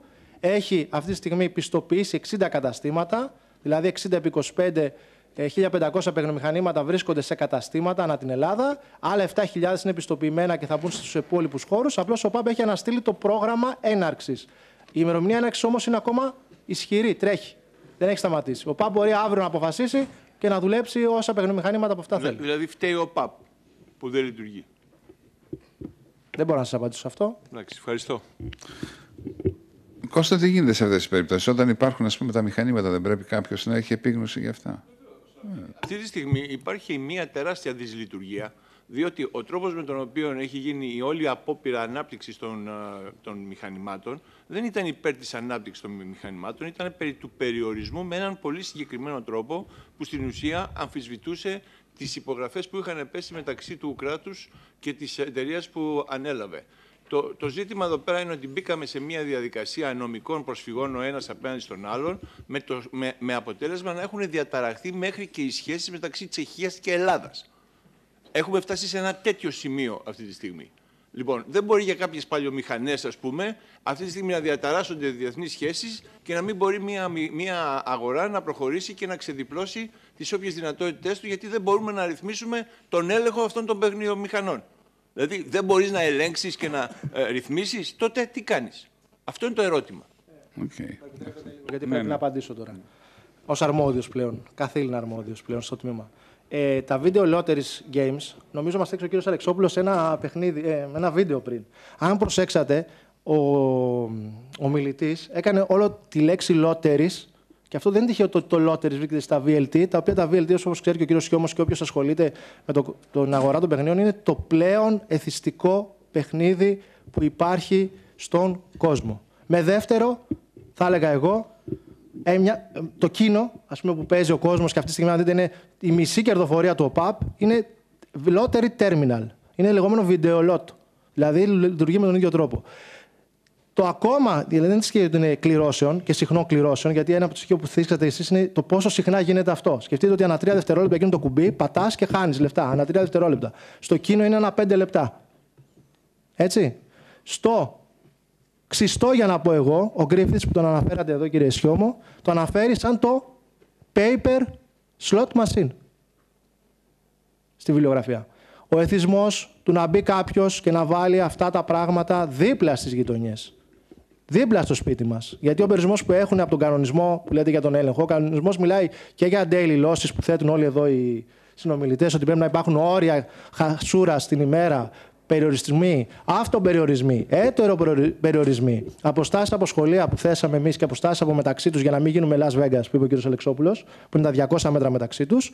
Σκεφτείτε ότι έχουν μπει όλοι αυτοί οι περιορισμοί και σκεφτείτε και η κάρτα παίχτη για να μην υπάρχει αυτό το θέμα του μπαίνω, παίζω και δεν ξέρω ποιος παίζει και πού τα βρήκε τα λεφτά και πώς τα χάνει. Ο έλεγχος νομίζω και το ρυθμιστικό πλαίσιο υπάρχει.